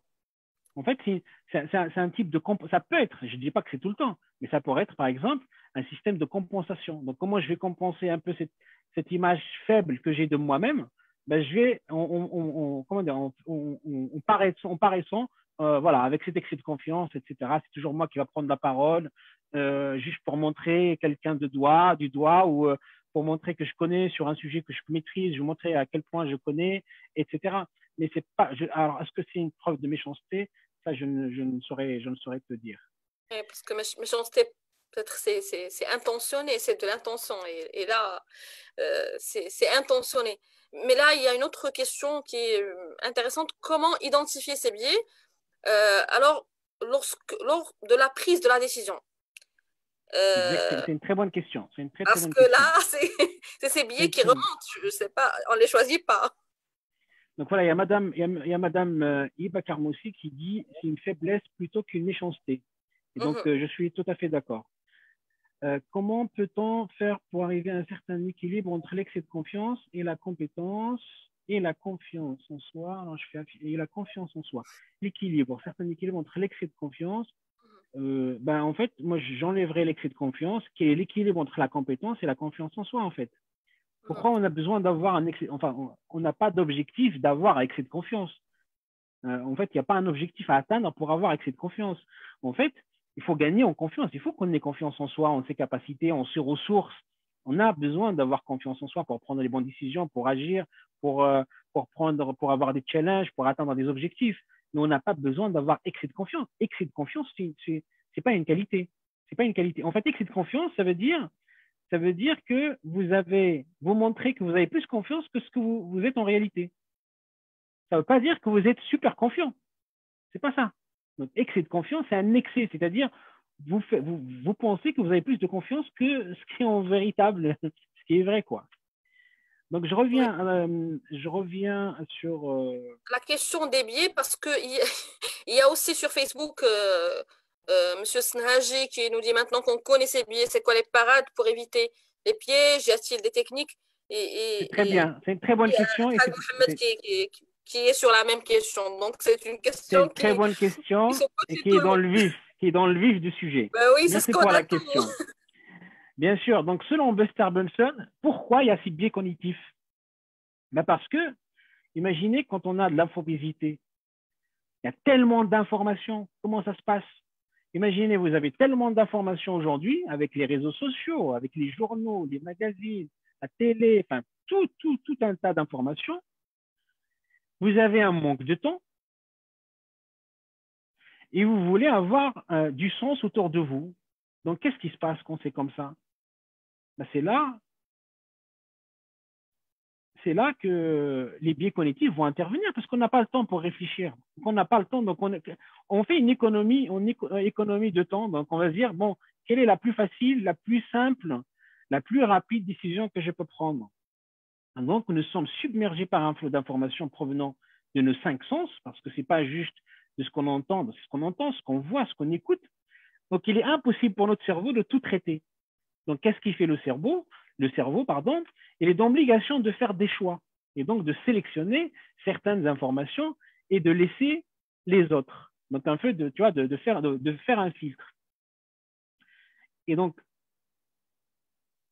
qu'est-ce qui va se passer? Donc, on va faire un peu le balayage de ce qu'on a vu jusqu'à maintenant.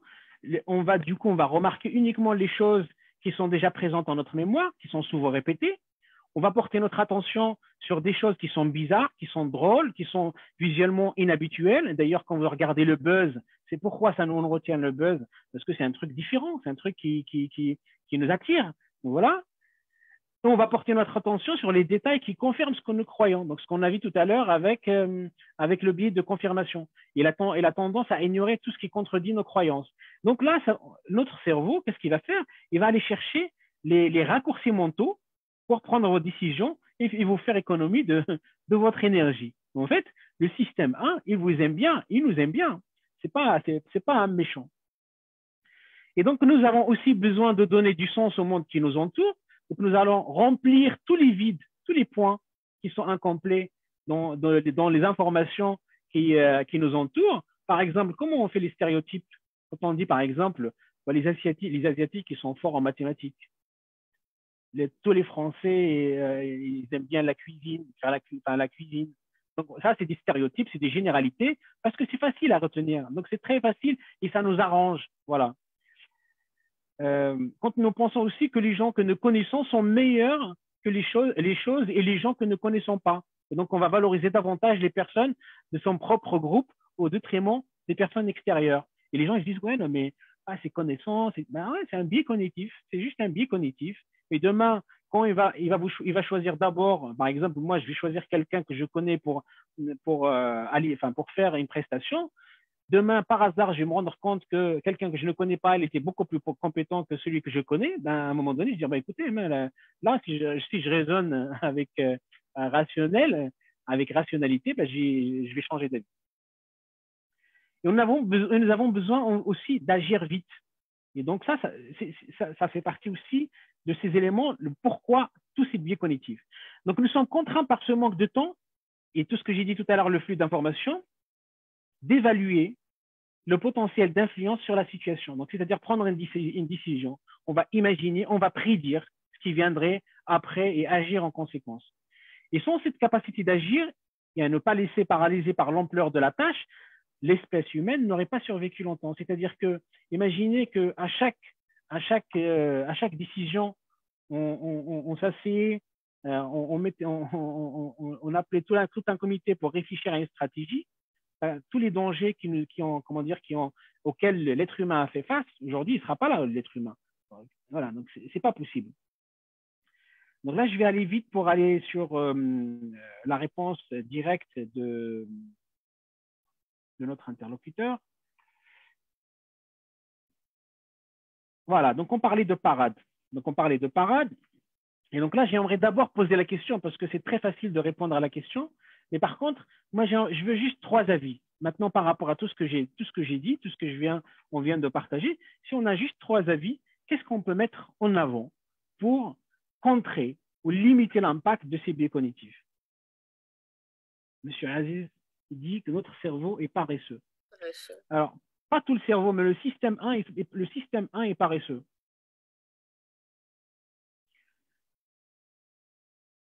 Donc, est-ce qu'on a euh, comment, quelles sont les stratégies ou quelles sont les parades pour limiter l'impact des biais cognitifs? Allez, les amis, des... qu'est-ce que vous avez appris de, ce séminaire et, vous inspire euh, des, avis ou des solutions que vous pouvez euh, appliquer? Bien évidemment, nos chers participants sur Zoom, vous pouvez l'écrire sur le chat si vous ne, voulez pas partager votre voix ou vous pouvez lever la main et, répondre. Et aussi sur Facebook. Euh, Alors, là, euh, monsieur, ouais, Mohamed, il dit la persévérance peut-il atténuer les biais cognitifs? Hmm, Pas forcément, parce que des fois, dans la persévérance, on, continue dans, dans, comment dire, dans ce biais cognitif. Au contraire, des fois, il faut prendre un peu de recul. Euh, alors, qu'est-ce qu'il y a d'autre? Donc là, j'ai bien noté la question de Monet Sanhaji. Maintenant qu'on connaît ses biais, c'est quoi les parts Bon, là, je renvoie la question à Monet Sanhaji. D'après vous, quelle est la stratégie ou les techniques? Juste dites-moi un peu ce que vous en pensez par rapport à ce que je viens de dire, et après, moi, je vous répondrai dans le détail. On peut mettre en avant sur solliciter le système 2, c'est-à-dire solliciter plus souvent le système 2, c'est ça que vous voulez dire? Sur solliciter le système 2, ça dépend. Ça dépend de la, de, la décision. Est-ce que c'est une décision importante ou pas? Mhm. Et Madame Zineb dit on peut mettre. Ben, j'ai perdu la réponse. Madame Iba dit prendre du recul sur sa manière de décider, c'est-à-dire identifier les biais les plus dominants chez soi. Prendre du temps mhm. pour réfléchir avant de décider. OK Monsieur Sonage, sur solliciter le système 2. Madame Zinbe dit on peut mettre en avant notre expérience. Ça veut dire. Euh, mettre en avant notre expérience. Donc, d'accord. Alors, je prends ah, une dernière. Zoom peut-être? On doit cesser de penser que le monde est responsable de nos échecs. Donc ça, c'est ça, ça va être une parade, par exemple, sur le, le, spécifique à l'autocomplaisance. Le biais de l'autocomplaisance, il va falloir qu'on assume, c'est-à-dire qu'on dise, bon, d'accord, c'est moi qui ai pris la décision. C'est pas quand c'est bon, c'est moi, je vais me l'attribuer, et quand c'est pas moi, je vais dire, c'est les facteurs, la, conjoncture, etc., etc. Et là, il y a s'entraîner, training our system 2. C'est une très bonne, c'est une très bonne réponse, Madame Habiba. Alors, moi, si on a, donc je vais aller, je vais moi, ce que je vais faire là, je vais présenter les parades une par une pour ces biais-là. Comme ça, ça va être un peu complet comme, euh, comme clé vous aurez les clés nécessaires. Mais avant cela, je vais vous dire juste quelque chose. Les parades, s'il y a une parade imparable de mon point de vue, parce que je représente ce que je, pense moi par rapport à, ce sujet-là, c'est meilleure connaissance et conscience de soi, ce qu'on a vu la semaine dernière. c'est la première chose. Quand on est a une meilleure connaissance de soi, une meilleure conscience de soi, ben on sait détecter un peu ces biais cognitifs. La deuxième, c'est apprendre à détecter ces biais cognitifs. Parce que quand est-ce que vous allez vous rendre compte euh, Vous allez vous rendre compte que vous avez un excès de confiance, ou bien l'autocomplaisance, ou bien le, biais d'attribution? Il faut les détecter, il faut l'identifier, il faut apprendre à l'identifier. Et enfin, il y a autre chose qui est super puissant, c'est décider comment décider. Donc là, j'ai deux, deux, décider dans la même phrase. Décider, comment décider? Ça veut dire quoi ça? Ça veut dire que si j'ai une stratégie de décision, bah, chaque fois, je vais revenir à cette stratégie, même si j'ai un biais de confiance, ou j'ai un biais d'attribution, ou j'ai un biais d'autocomplaisance, bah, je vais le confronter à la stratégie de décision que j'avais mis en place pour voir est-ce que j'ai un problème, euh, est-ce que ça coche, est-ce que j'ai un problème de biais? Qui va arriver, qui va, qui va, qui va surgir. Et du coup, peut-être aussi, la, fois d'après, je vais m'améliorer. Je vais dire parce que la dernière fois, j'ai décidé de décider comme ça. Maintenant, je vais faire le bilan et du coup, qu'est-ce que ça donne? Est-ce que c'est bon? Est-ce que c'est pas bon? Qu'est-ce que je vais ajuster, etc. Donc voilà. Donc si j'ai euh, la parade qui est valable pour tout, c'est déjà apprendre, à avoir une meilleure connaissance de soi et de conscience de soi Alors, Madame, euh, Monsieur Abbé Picsou, il dit meilleure connaissance et conscience de soi n'est-il pas perçu comme étant une sorte de d'excès de confiance? Perçu, perçu, c'est-à-dire quelqu'un d'autre qui va percevoir que j'ai une meilleure connaissance de moi, c'est son problème s'il voit que c'est un excès, un, excès de confiance. Et moi, je, moi, c'est un, un, sujet. S'il y a, comment dire, c'est très intéressant, mais s'il y a, s'il y a euh, un objectif euh, le plus important aujourd'hui pour chacun, c'est de se connaître et d'avoir conscience de soi.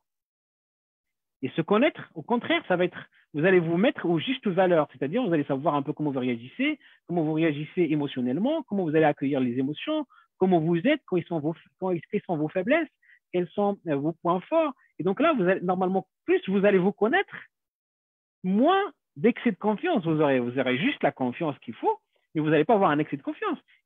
Voilà, donc la connaissance de soi la conscience de soi, elle est juste primordiale. Ensuite, que je disais, apprendre à détecter ses biais cognitifs, donc grâce aussi à cette prise de conscience et la connaissance de soi. Et enfin, décider comment décider.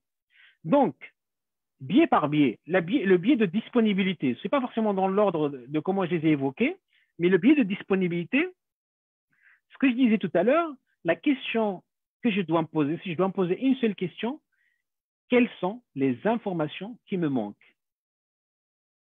Parce que j'ai tendance à prendre uniquement les informations qui sont là. Et du coup, si je ne me pose pas la question des, informations qui me manquent, je peux passer à côté de, quelque chose. Donc, quelles sont les informations qui me manquent? C'est la question à, me poser. Et est-ce que je les ai toutes? C'est-à-dire les informations manquantes pour prendre la décision. Est-ce que je les ai? Je les ai, c'est bon, maintenant je les ai. Si la réponse est oui, alors prenez votre décision. Si en revanche la, réponse est non, ben là, il faut de nouvelles informations. Il faut aller les chercher pour prendre la décision d'une façon plus informée, en étant plus informé. Est-ce que c'est clair pour disponibilité? Je passe à le biais de confirmation. Biais de confirmation, c'est il faut prendre du recul, donc se mettre en position méta, c'est-à-dire un peu observateur, pour limiter le biais de confirmation. Et donc, il y a Seth Godin qui propose une excellente technique que je, vais vous proposer. Euh, il dit, j'ai adopté cette pratique régulière qui consiste en fait à chercher un sujet pour lequel je suis certain, c'est-à-dire j'ai la certitude sur ce, sujet-là. Et je vais expliquer à l'oral à une personne de confiance que j'ai tort. Pourquoi j'ai tort?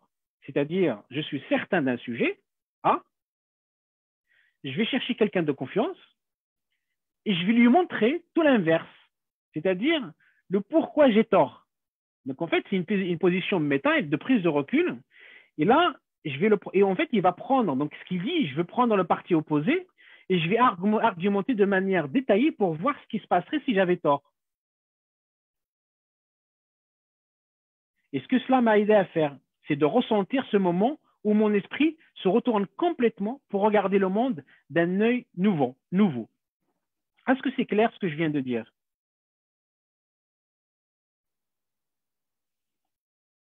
Voilà. Donc, ensuite, le biais d'ancrage. Le biais d'ancrage, donc on l'a vu tout à l'heure, l'exemple de Steve Jobs, là, avec les 999 dollars. Donc, pour limiter le biais d'ancrage, il faut donner tout autant de poids aux premières informations qu'à celles qui suivent, qui viennent ensuite. D'accord? C'est-à-dire, je ne vais pas rester sur les 999. Voilà, par exemple, vous avez une annonce, une annonce euh, immobilière qui vous dit voilà, c'est euh, une vente d'appartement ou de maison, le prix c'est non négociable. Mais ce n'est pas parce que c'est marqué non négociable, ça c'est un ancrage. Il vous dit c'est non négociable, vous allez dire bon, ça je vais même pas essayer de négocier. Non, non négociable, c'est juste un ancrage. Vous allez, vous devez négocier. D'accord? Donc vous allez considérer au même poids les mêmes informations, le même poids qu'aux premières informations pour toutes les suivantes. Et parfois même ignorer complètement les premières informations. Ça peut s'avérer très utile. Donc, imaginez par exemple, pour le Steve Jobs, je reste sur, euh, sur 499, que je considère comme le prix, et je vais regarder est-ce que le produit-là, ça les vaut ou pas. Euh, Madame Chalifa, je veux juste savoir, est-ce qu'on est dans les temps? Euh, Bon, ça va, on a normalement presque 20, 20 minutes pour terminer. Très bien. Donc, on est, on est dans les temps alors. On est dans les temps, voilà. Très bien. Ensuite, le biais de. Alors, euh, parce que tout à l'heure, monsieur, monsieur, monsieur Monir, qui avait posé cette question-là, j'aimerais bien voir si. Euh, si en fait, il avait, il avait écrit, j'allais justement intervenir, mais j'ai attendu que vous, vous terminez. quand vous avez partagé les, les, secrets, les trois secrets. ouais les trois solutions, il, a dit aussi prendre un coach. Et, là, une question se pose. Est-ce que si je ne sais pas comment, euh, comment, comment faire, est-ce que je dois être accompagné euh, d'un coach pour, ou un accompagnateur pour m'aider? Ou bien c'est des bases sur lesquelles je dois travailler sur moi-même tout seul et, c'est moi qui peux, qui peut m'aider? Alors, euh, sur la prise de décision, aujourd'hui, moi, j'accompagne les managers et les dirigeants pour prendre leurs décisions. Et donc, et euh, bien sûr, qui peuvent, on peut les accompagner. Nous, coachs, on peut les accompagner. Euh, bien sûr, on peut les accompagner parce que c'est nous qui vont les aider aussi à prendre conscience de ces biais cognitifs. C'est nous qui vont prendre en conscience et vont les aider à prendre en conscience aussi de tous ces travers.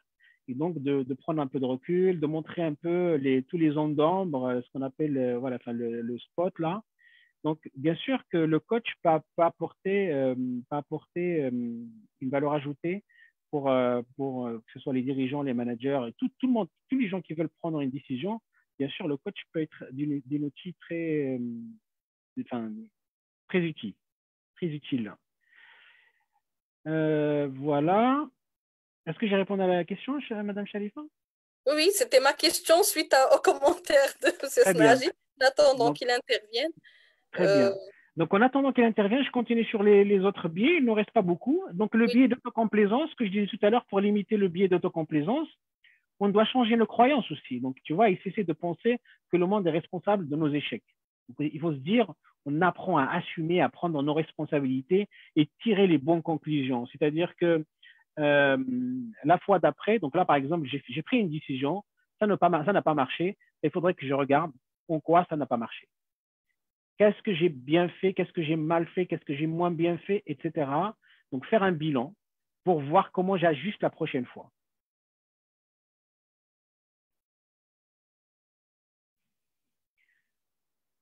Euh, il y a monsieur euh, Picsou qui dit que ce ne serait pas de l'arrogance de la part de la personne dont on dit qu'elle se connaît, mais ma perception de ce dernier par son entourage. Euh, franchement, je n'ai pas compris la question. Donc, si vous pouvez euh, clarifier, il y a M. Monet qui dit oui, merci. Oh, très bien. Donc, je continue. Donc, l'autocomplaisance, donc on l'a vu. Maintenant, euh, euh, sur le biais d'autorité. Le biais d'autorité, donc la parade, ce serait quoi? En fait, les experts, on est en train de dire les experts, enfin l'autorité, c'est de remettre en question, quand on n'ose pas remettre en question, en fait, en quelque sorte, les dirigeants, enfin le quelqu'un, enfin quelqu'un qui a une autorité euh, sur ses décisions, sur ses prises de parole, etc. Mais vous, savez très bien, aujourd'hui, les, experts, c'est les experts qui étaient à l'origine des subprimes. Ils n'ont pas pris prendre les bonnes décisions à l'époque des subprimes. Donc c'était bien des, des experts. Donc voilà. Donc en fait, à un moment donné, quand vous avez quelqu'un euh, qui a une autorité et qui, essaie qui prend une décision, ben, ça peut être tout simplement de demander euh, de vous expliquer les choses en, simple, en termes simples. Et ça, c'est un, euh, un très bon outil. C'est-à-dire que si vous posez la question, juste, je veux bien comprendre en fait votre décision, je veux juste avoir, je veux mieux comprendre, est-ce que vous pouvez me donner, m'expliquer en termes simples? Le fait de refaire ce travail-là, ben, même, même le, le, la personne avec autorité, qui ont cette autorité-là, elle va prendre conscience aussi de ce, de ce qu'il va dire, etc. Et il y aura cette prise de conscience, est-ce que c'est est-ce que c'est valable, etc. Donc, et vous, ça vous permet aussi de confirmer, de, euh, de confirmer, de, de faire reformuler, etc. Comment limiter le biais donc, de cadrage? Euh, euh, en fait, le biais de cadrage, c'est ce que je disais tout à l'heure, l'exemple que j'ai donné, par exemple, un médecin qui pose, enfin, euh, et qui donne deux options. Il dit vous avez 30%, euh, si vous prenez cette option-là, 30% d'échecs Ici, par contre, vous prenez cette option-là, vous avez 70% de réussite. voilà. Donc ça, c'est très intéressant parce que du coup, là, le faire reformuler, c'est-à-dire si vous avez quelqu'un qui vous dit, par exemple, vous, négociez un contrat, etc., et cette personne-là vous pose la question de cette façon, donc avec la polarité par exemple négative, vous pouvez très bien poser la question autrement, reposer la question. Vous dites, ça veut dire, ça veut dire que j'ai 70% de, de, chances de, réussite Qu'est-ce que vous voulez dire? Donc là, vous changez complètement le cadrage, c'est plus le même. Donc là, vous allez avoir la réponse oui, etc. Voilà. Ce que je n'ai pas dit, et je n'ai pas eu cette question, euh, il faut être docteur Raoult pour être seul contre tous. C'est pas facile. Euh, ok, d'accord. Donc en fait, il y a, une question très intéressante que, enfin que je vous, enfin pas que je vous la soumets, mais ce que j'ai envie de dire, tous ces biais cognitifs, on peut en être des victimes, mais on peut également les utiliser en tant que décideur. Vous voyez ce que je veux dire? C'est-à-dire le, le biais d'ancrage pour vendre mon produit, ben, je peux l'utiliser quand je le connais.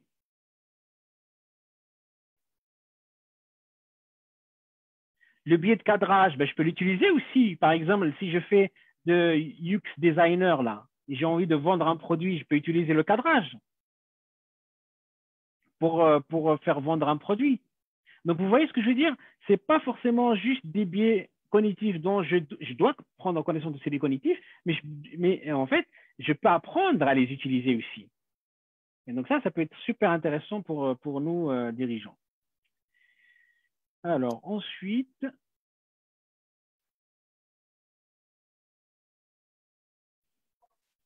Alors, pourquoi ça passe pas? Parce que moi, j'ai ce truc-là, le sondage là. Je peux l'avoir après?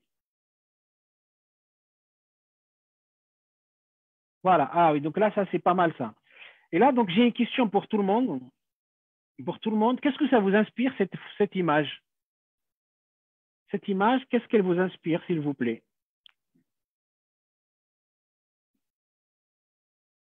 Les mains levées, s'il vous plaît. Exprimez-vous, c'est la fin de la soirée.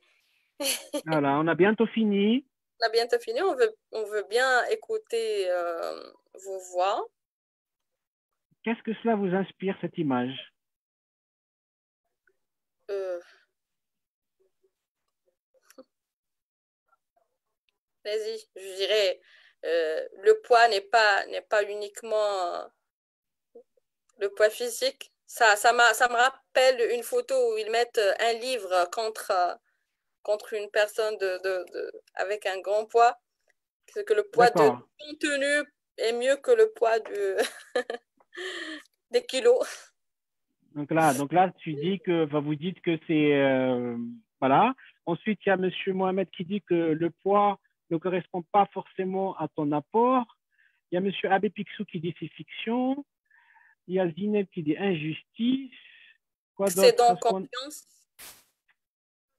Je n'ai jamais perdu d'avance. Mais en fait, qu'est-ce qui vous a dit que c'était une balance? Donc ça, c'est le système 1.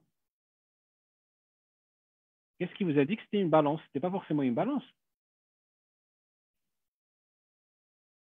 Vous voyez ce que je veux dire? Là, vous avez un raccourci mental.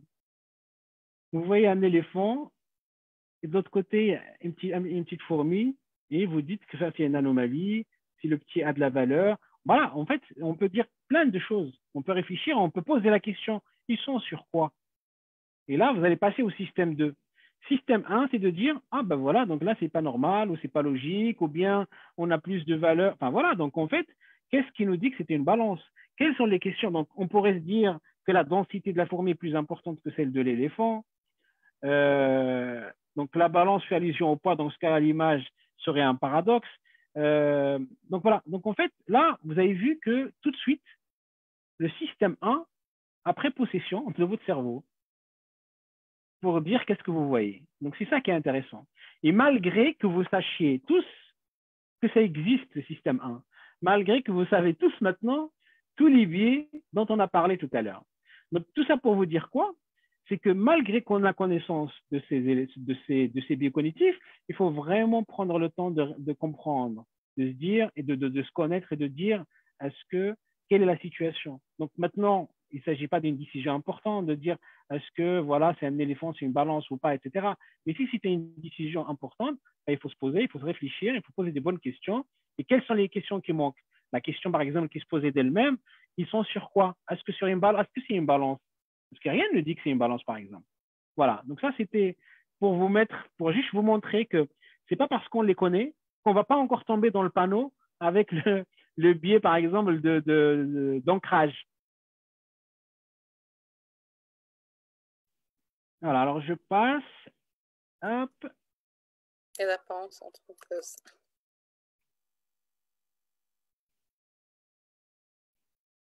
Alors, le bonus, le bonus que, pris, euh, que je voulais vous partager, c'est super intéressant, c'est que tous les biais cognitifs qu'on a vus sont quasiment inévitables car en fait, ils se déclenchent d'une manière automatique et ce sont des raccourcis mentaux, comme je disais tout à l'heure, qui existent en raison de nos limitations cognitives. Donc, nous sommes tous susceptibles d'être victimes des biais cognitifs et de porter un jugement erroné. Le sujet est bien très complexe parce que, en fait, si on prend connaissance de nos limites, que nous pouvons les dépasser. Et donc, selon le sociologue Jacques vert, la pensée critique serait composée de deux éléments. Et là, ce que j'ai envie de vous partager, c'est d'avoir, d'aller vers cette compétence qui s'appelle la pensée critique. La pensée critique ou critical thinking est un concept dont les définitions sont nombreuses qui désignent dans les grandes lignes les capacités, les capacités et attitudes permettant des raisonnements rigoureux afin d'atteindre un objectif ou d'analyser des faits pour formuler un jugement. Et donc, le sociologue dont je parlais tout à l'heure, il dit que la pensée critique, elle est composée de deux éléments. D'un élément, d'un ensemble d'attitudes qui correspondent à l'esprit critique, c'est-à-dire à la posture intellectuelle qui nous mène à être critique envers les informations qu'on reçoit, qu'on a reçues, et d'un ensemble de capacités et d'habilités qui permettent d'établir un jugement éclairé et raisonné. Donc ainsi, pour faire preuve, par exemple, d'esprit critique, il faut être disposé, être en capacité de traiter avec discernement les informations qui nous parviennent. Il faut pouvoir démêler le vrai du faux, le bon du mauvais, en vue d'émettre un jugement ou une décision de la manière la plus éclairée possible. Donc pour finir, quand on parle de capacité propre à la pensée critique et attitude, on parle de la concentration sur une question, d'accord? On parle de l'analyse des arguments, on parle de la formulation et, la résolution, des questions de clarification et de contestation. On, parle de l'évaluation de la crédibilité d'une source. Ce n'est pas parce que j'ai une information, je vais la prendre telle qu'elle. Ça vient d'où? L'observation et l'appréciation de rapports d'observation. Je vais parler aussi d'élaboration et l'appréciation d'induction. Qu'est-ce qui est induit? Qu'est-ce que je déduis?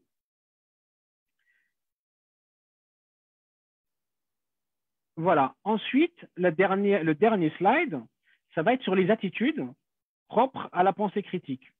Et, euh, l'ensemble des attitudes caractéristiques de, la, caractéristiques de la pensée critique est désigné par certains auteurs comme toujours Boisvert sous le nom d'esprit critique.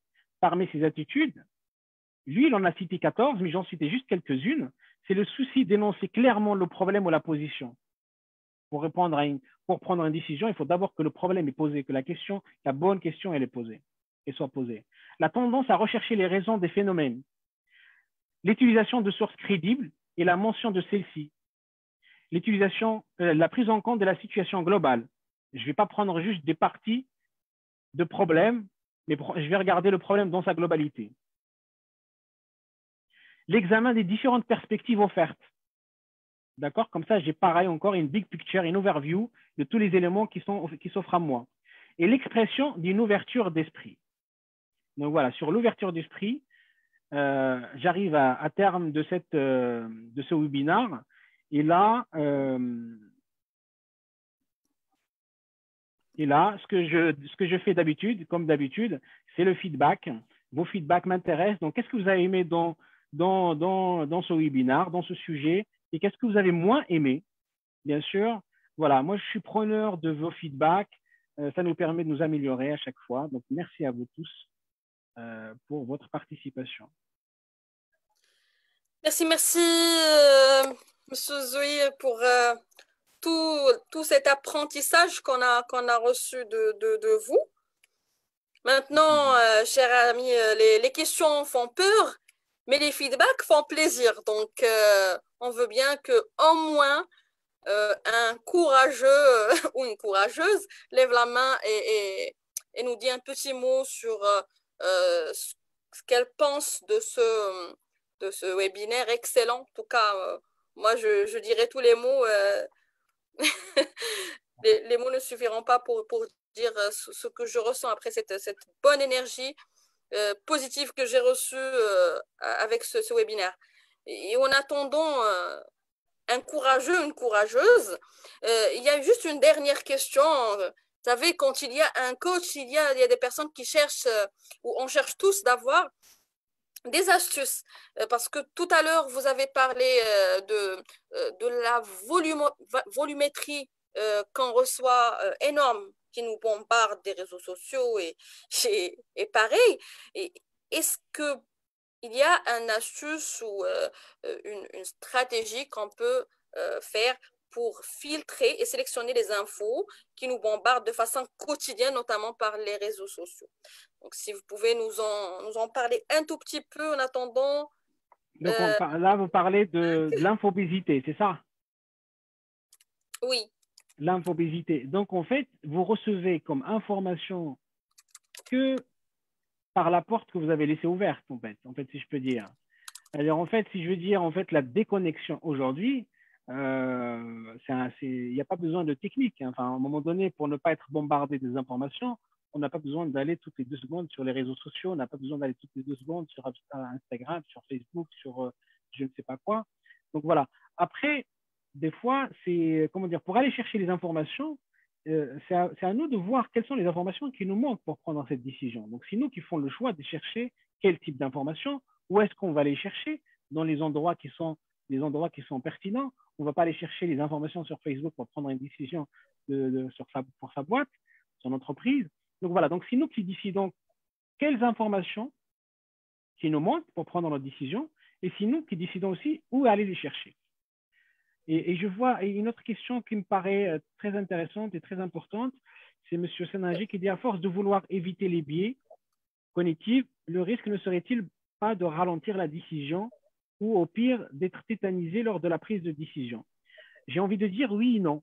Et par contre, euh, votre question, elle est un peu, euh, elle peut être perçue comme paradoxale. Pourquoi? Parce que quand on parle d'éviter les biais cognitifs, bien sûr, sur les questions importantes, il faut les éviter, les biais cognitifs. Parce qu'imaginez, vous, prenez les biais cognitifs tels qu'ils viennent et vous prenez les décisions importantes en ayant ces biais cognitifs, ça peut être catastrophique en fait. Par contre, quand c'est des petites, euh, de petites décisions à prendre, oui, là, il ne faut, pas, il faut pas éviter les, les biais, forcément les biais cognitifs, il n'y aura pas beaucoup de risques. Mais le risque, ça peut être important de, euh, de se baser sur les, les, le système 1 ou bien les raccourcis mentaux pour prendre une décision importante. Ça, ça peut être un vrai, un vrai risque pour le, le, le projet. Donc, il y en a des gens qui sont titanisés, je suis d'accord, pour prendre une décision. Il y a même des managers et des dirigeants qui sont virés parce qu'ils ne prennent pas de décision, alors qu'ils sont payés pour ça. Donc, on est d'accord que ça, ça peut ça, peut être un sujet très, euh, très important pour. Euh, Alors, moi, ce que j'ai lu en tout cas, il n'y a pas deux ou trois feedbacks, mais il y en a, il y en a plusieurs euh, que c'est que c'était instructif, ce mot qui se répétait sur plusieurs commentaires, que c'était un live instructif, que c'était un vrai moment d'échange et, de partage et je partage cet avis, bien évidemment. Et il y a même des personnes qui, qui ont réservé leur place pour la semaine prochaine. Ils ne veulent, pas, ils veulent surtout pas rater votre, votre troisième euh, intervention. Et aussi, sur on a, on a le, même, le même commentaire. C'est très instructif.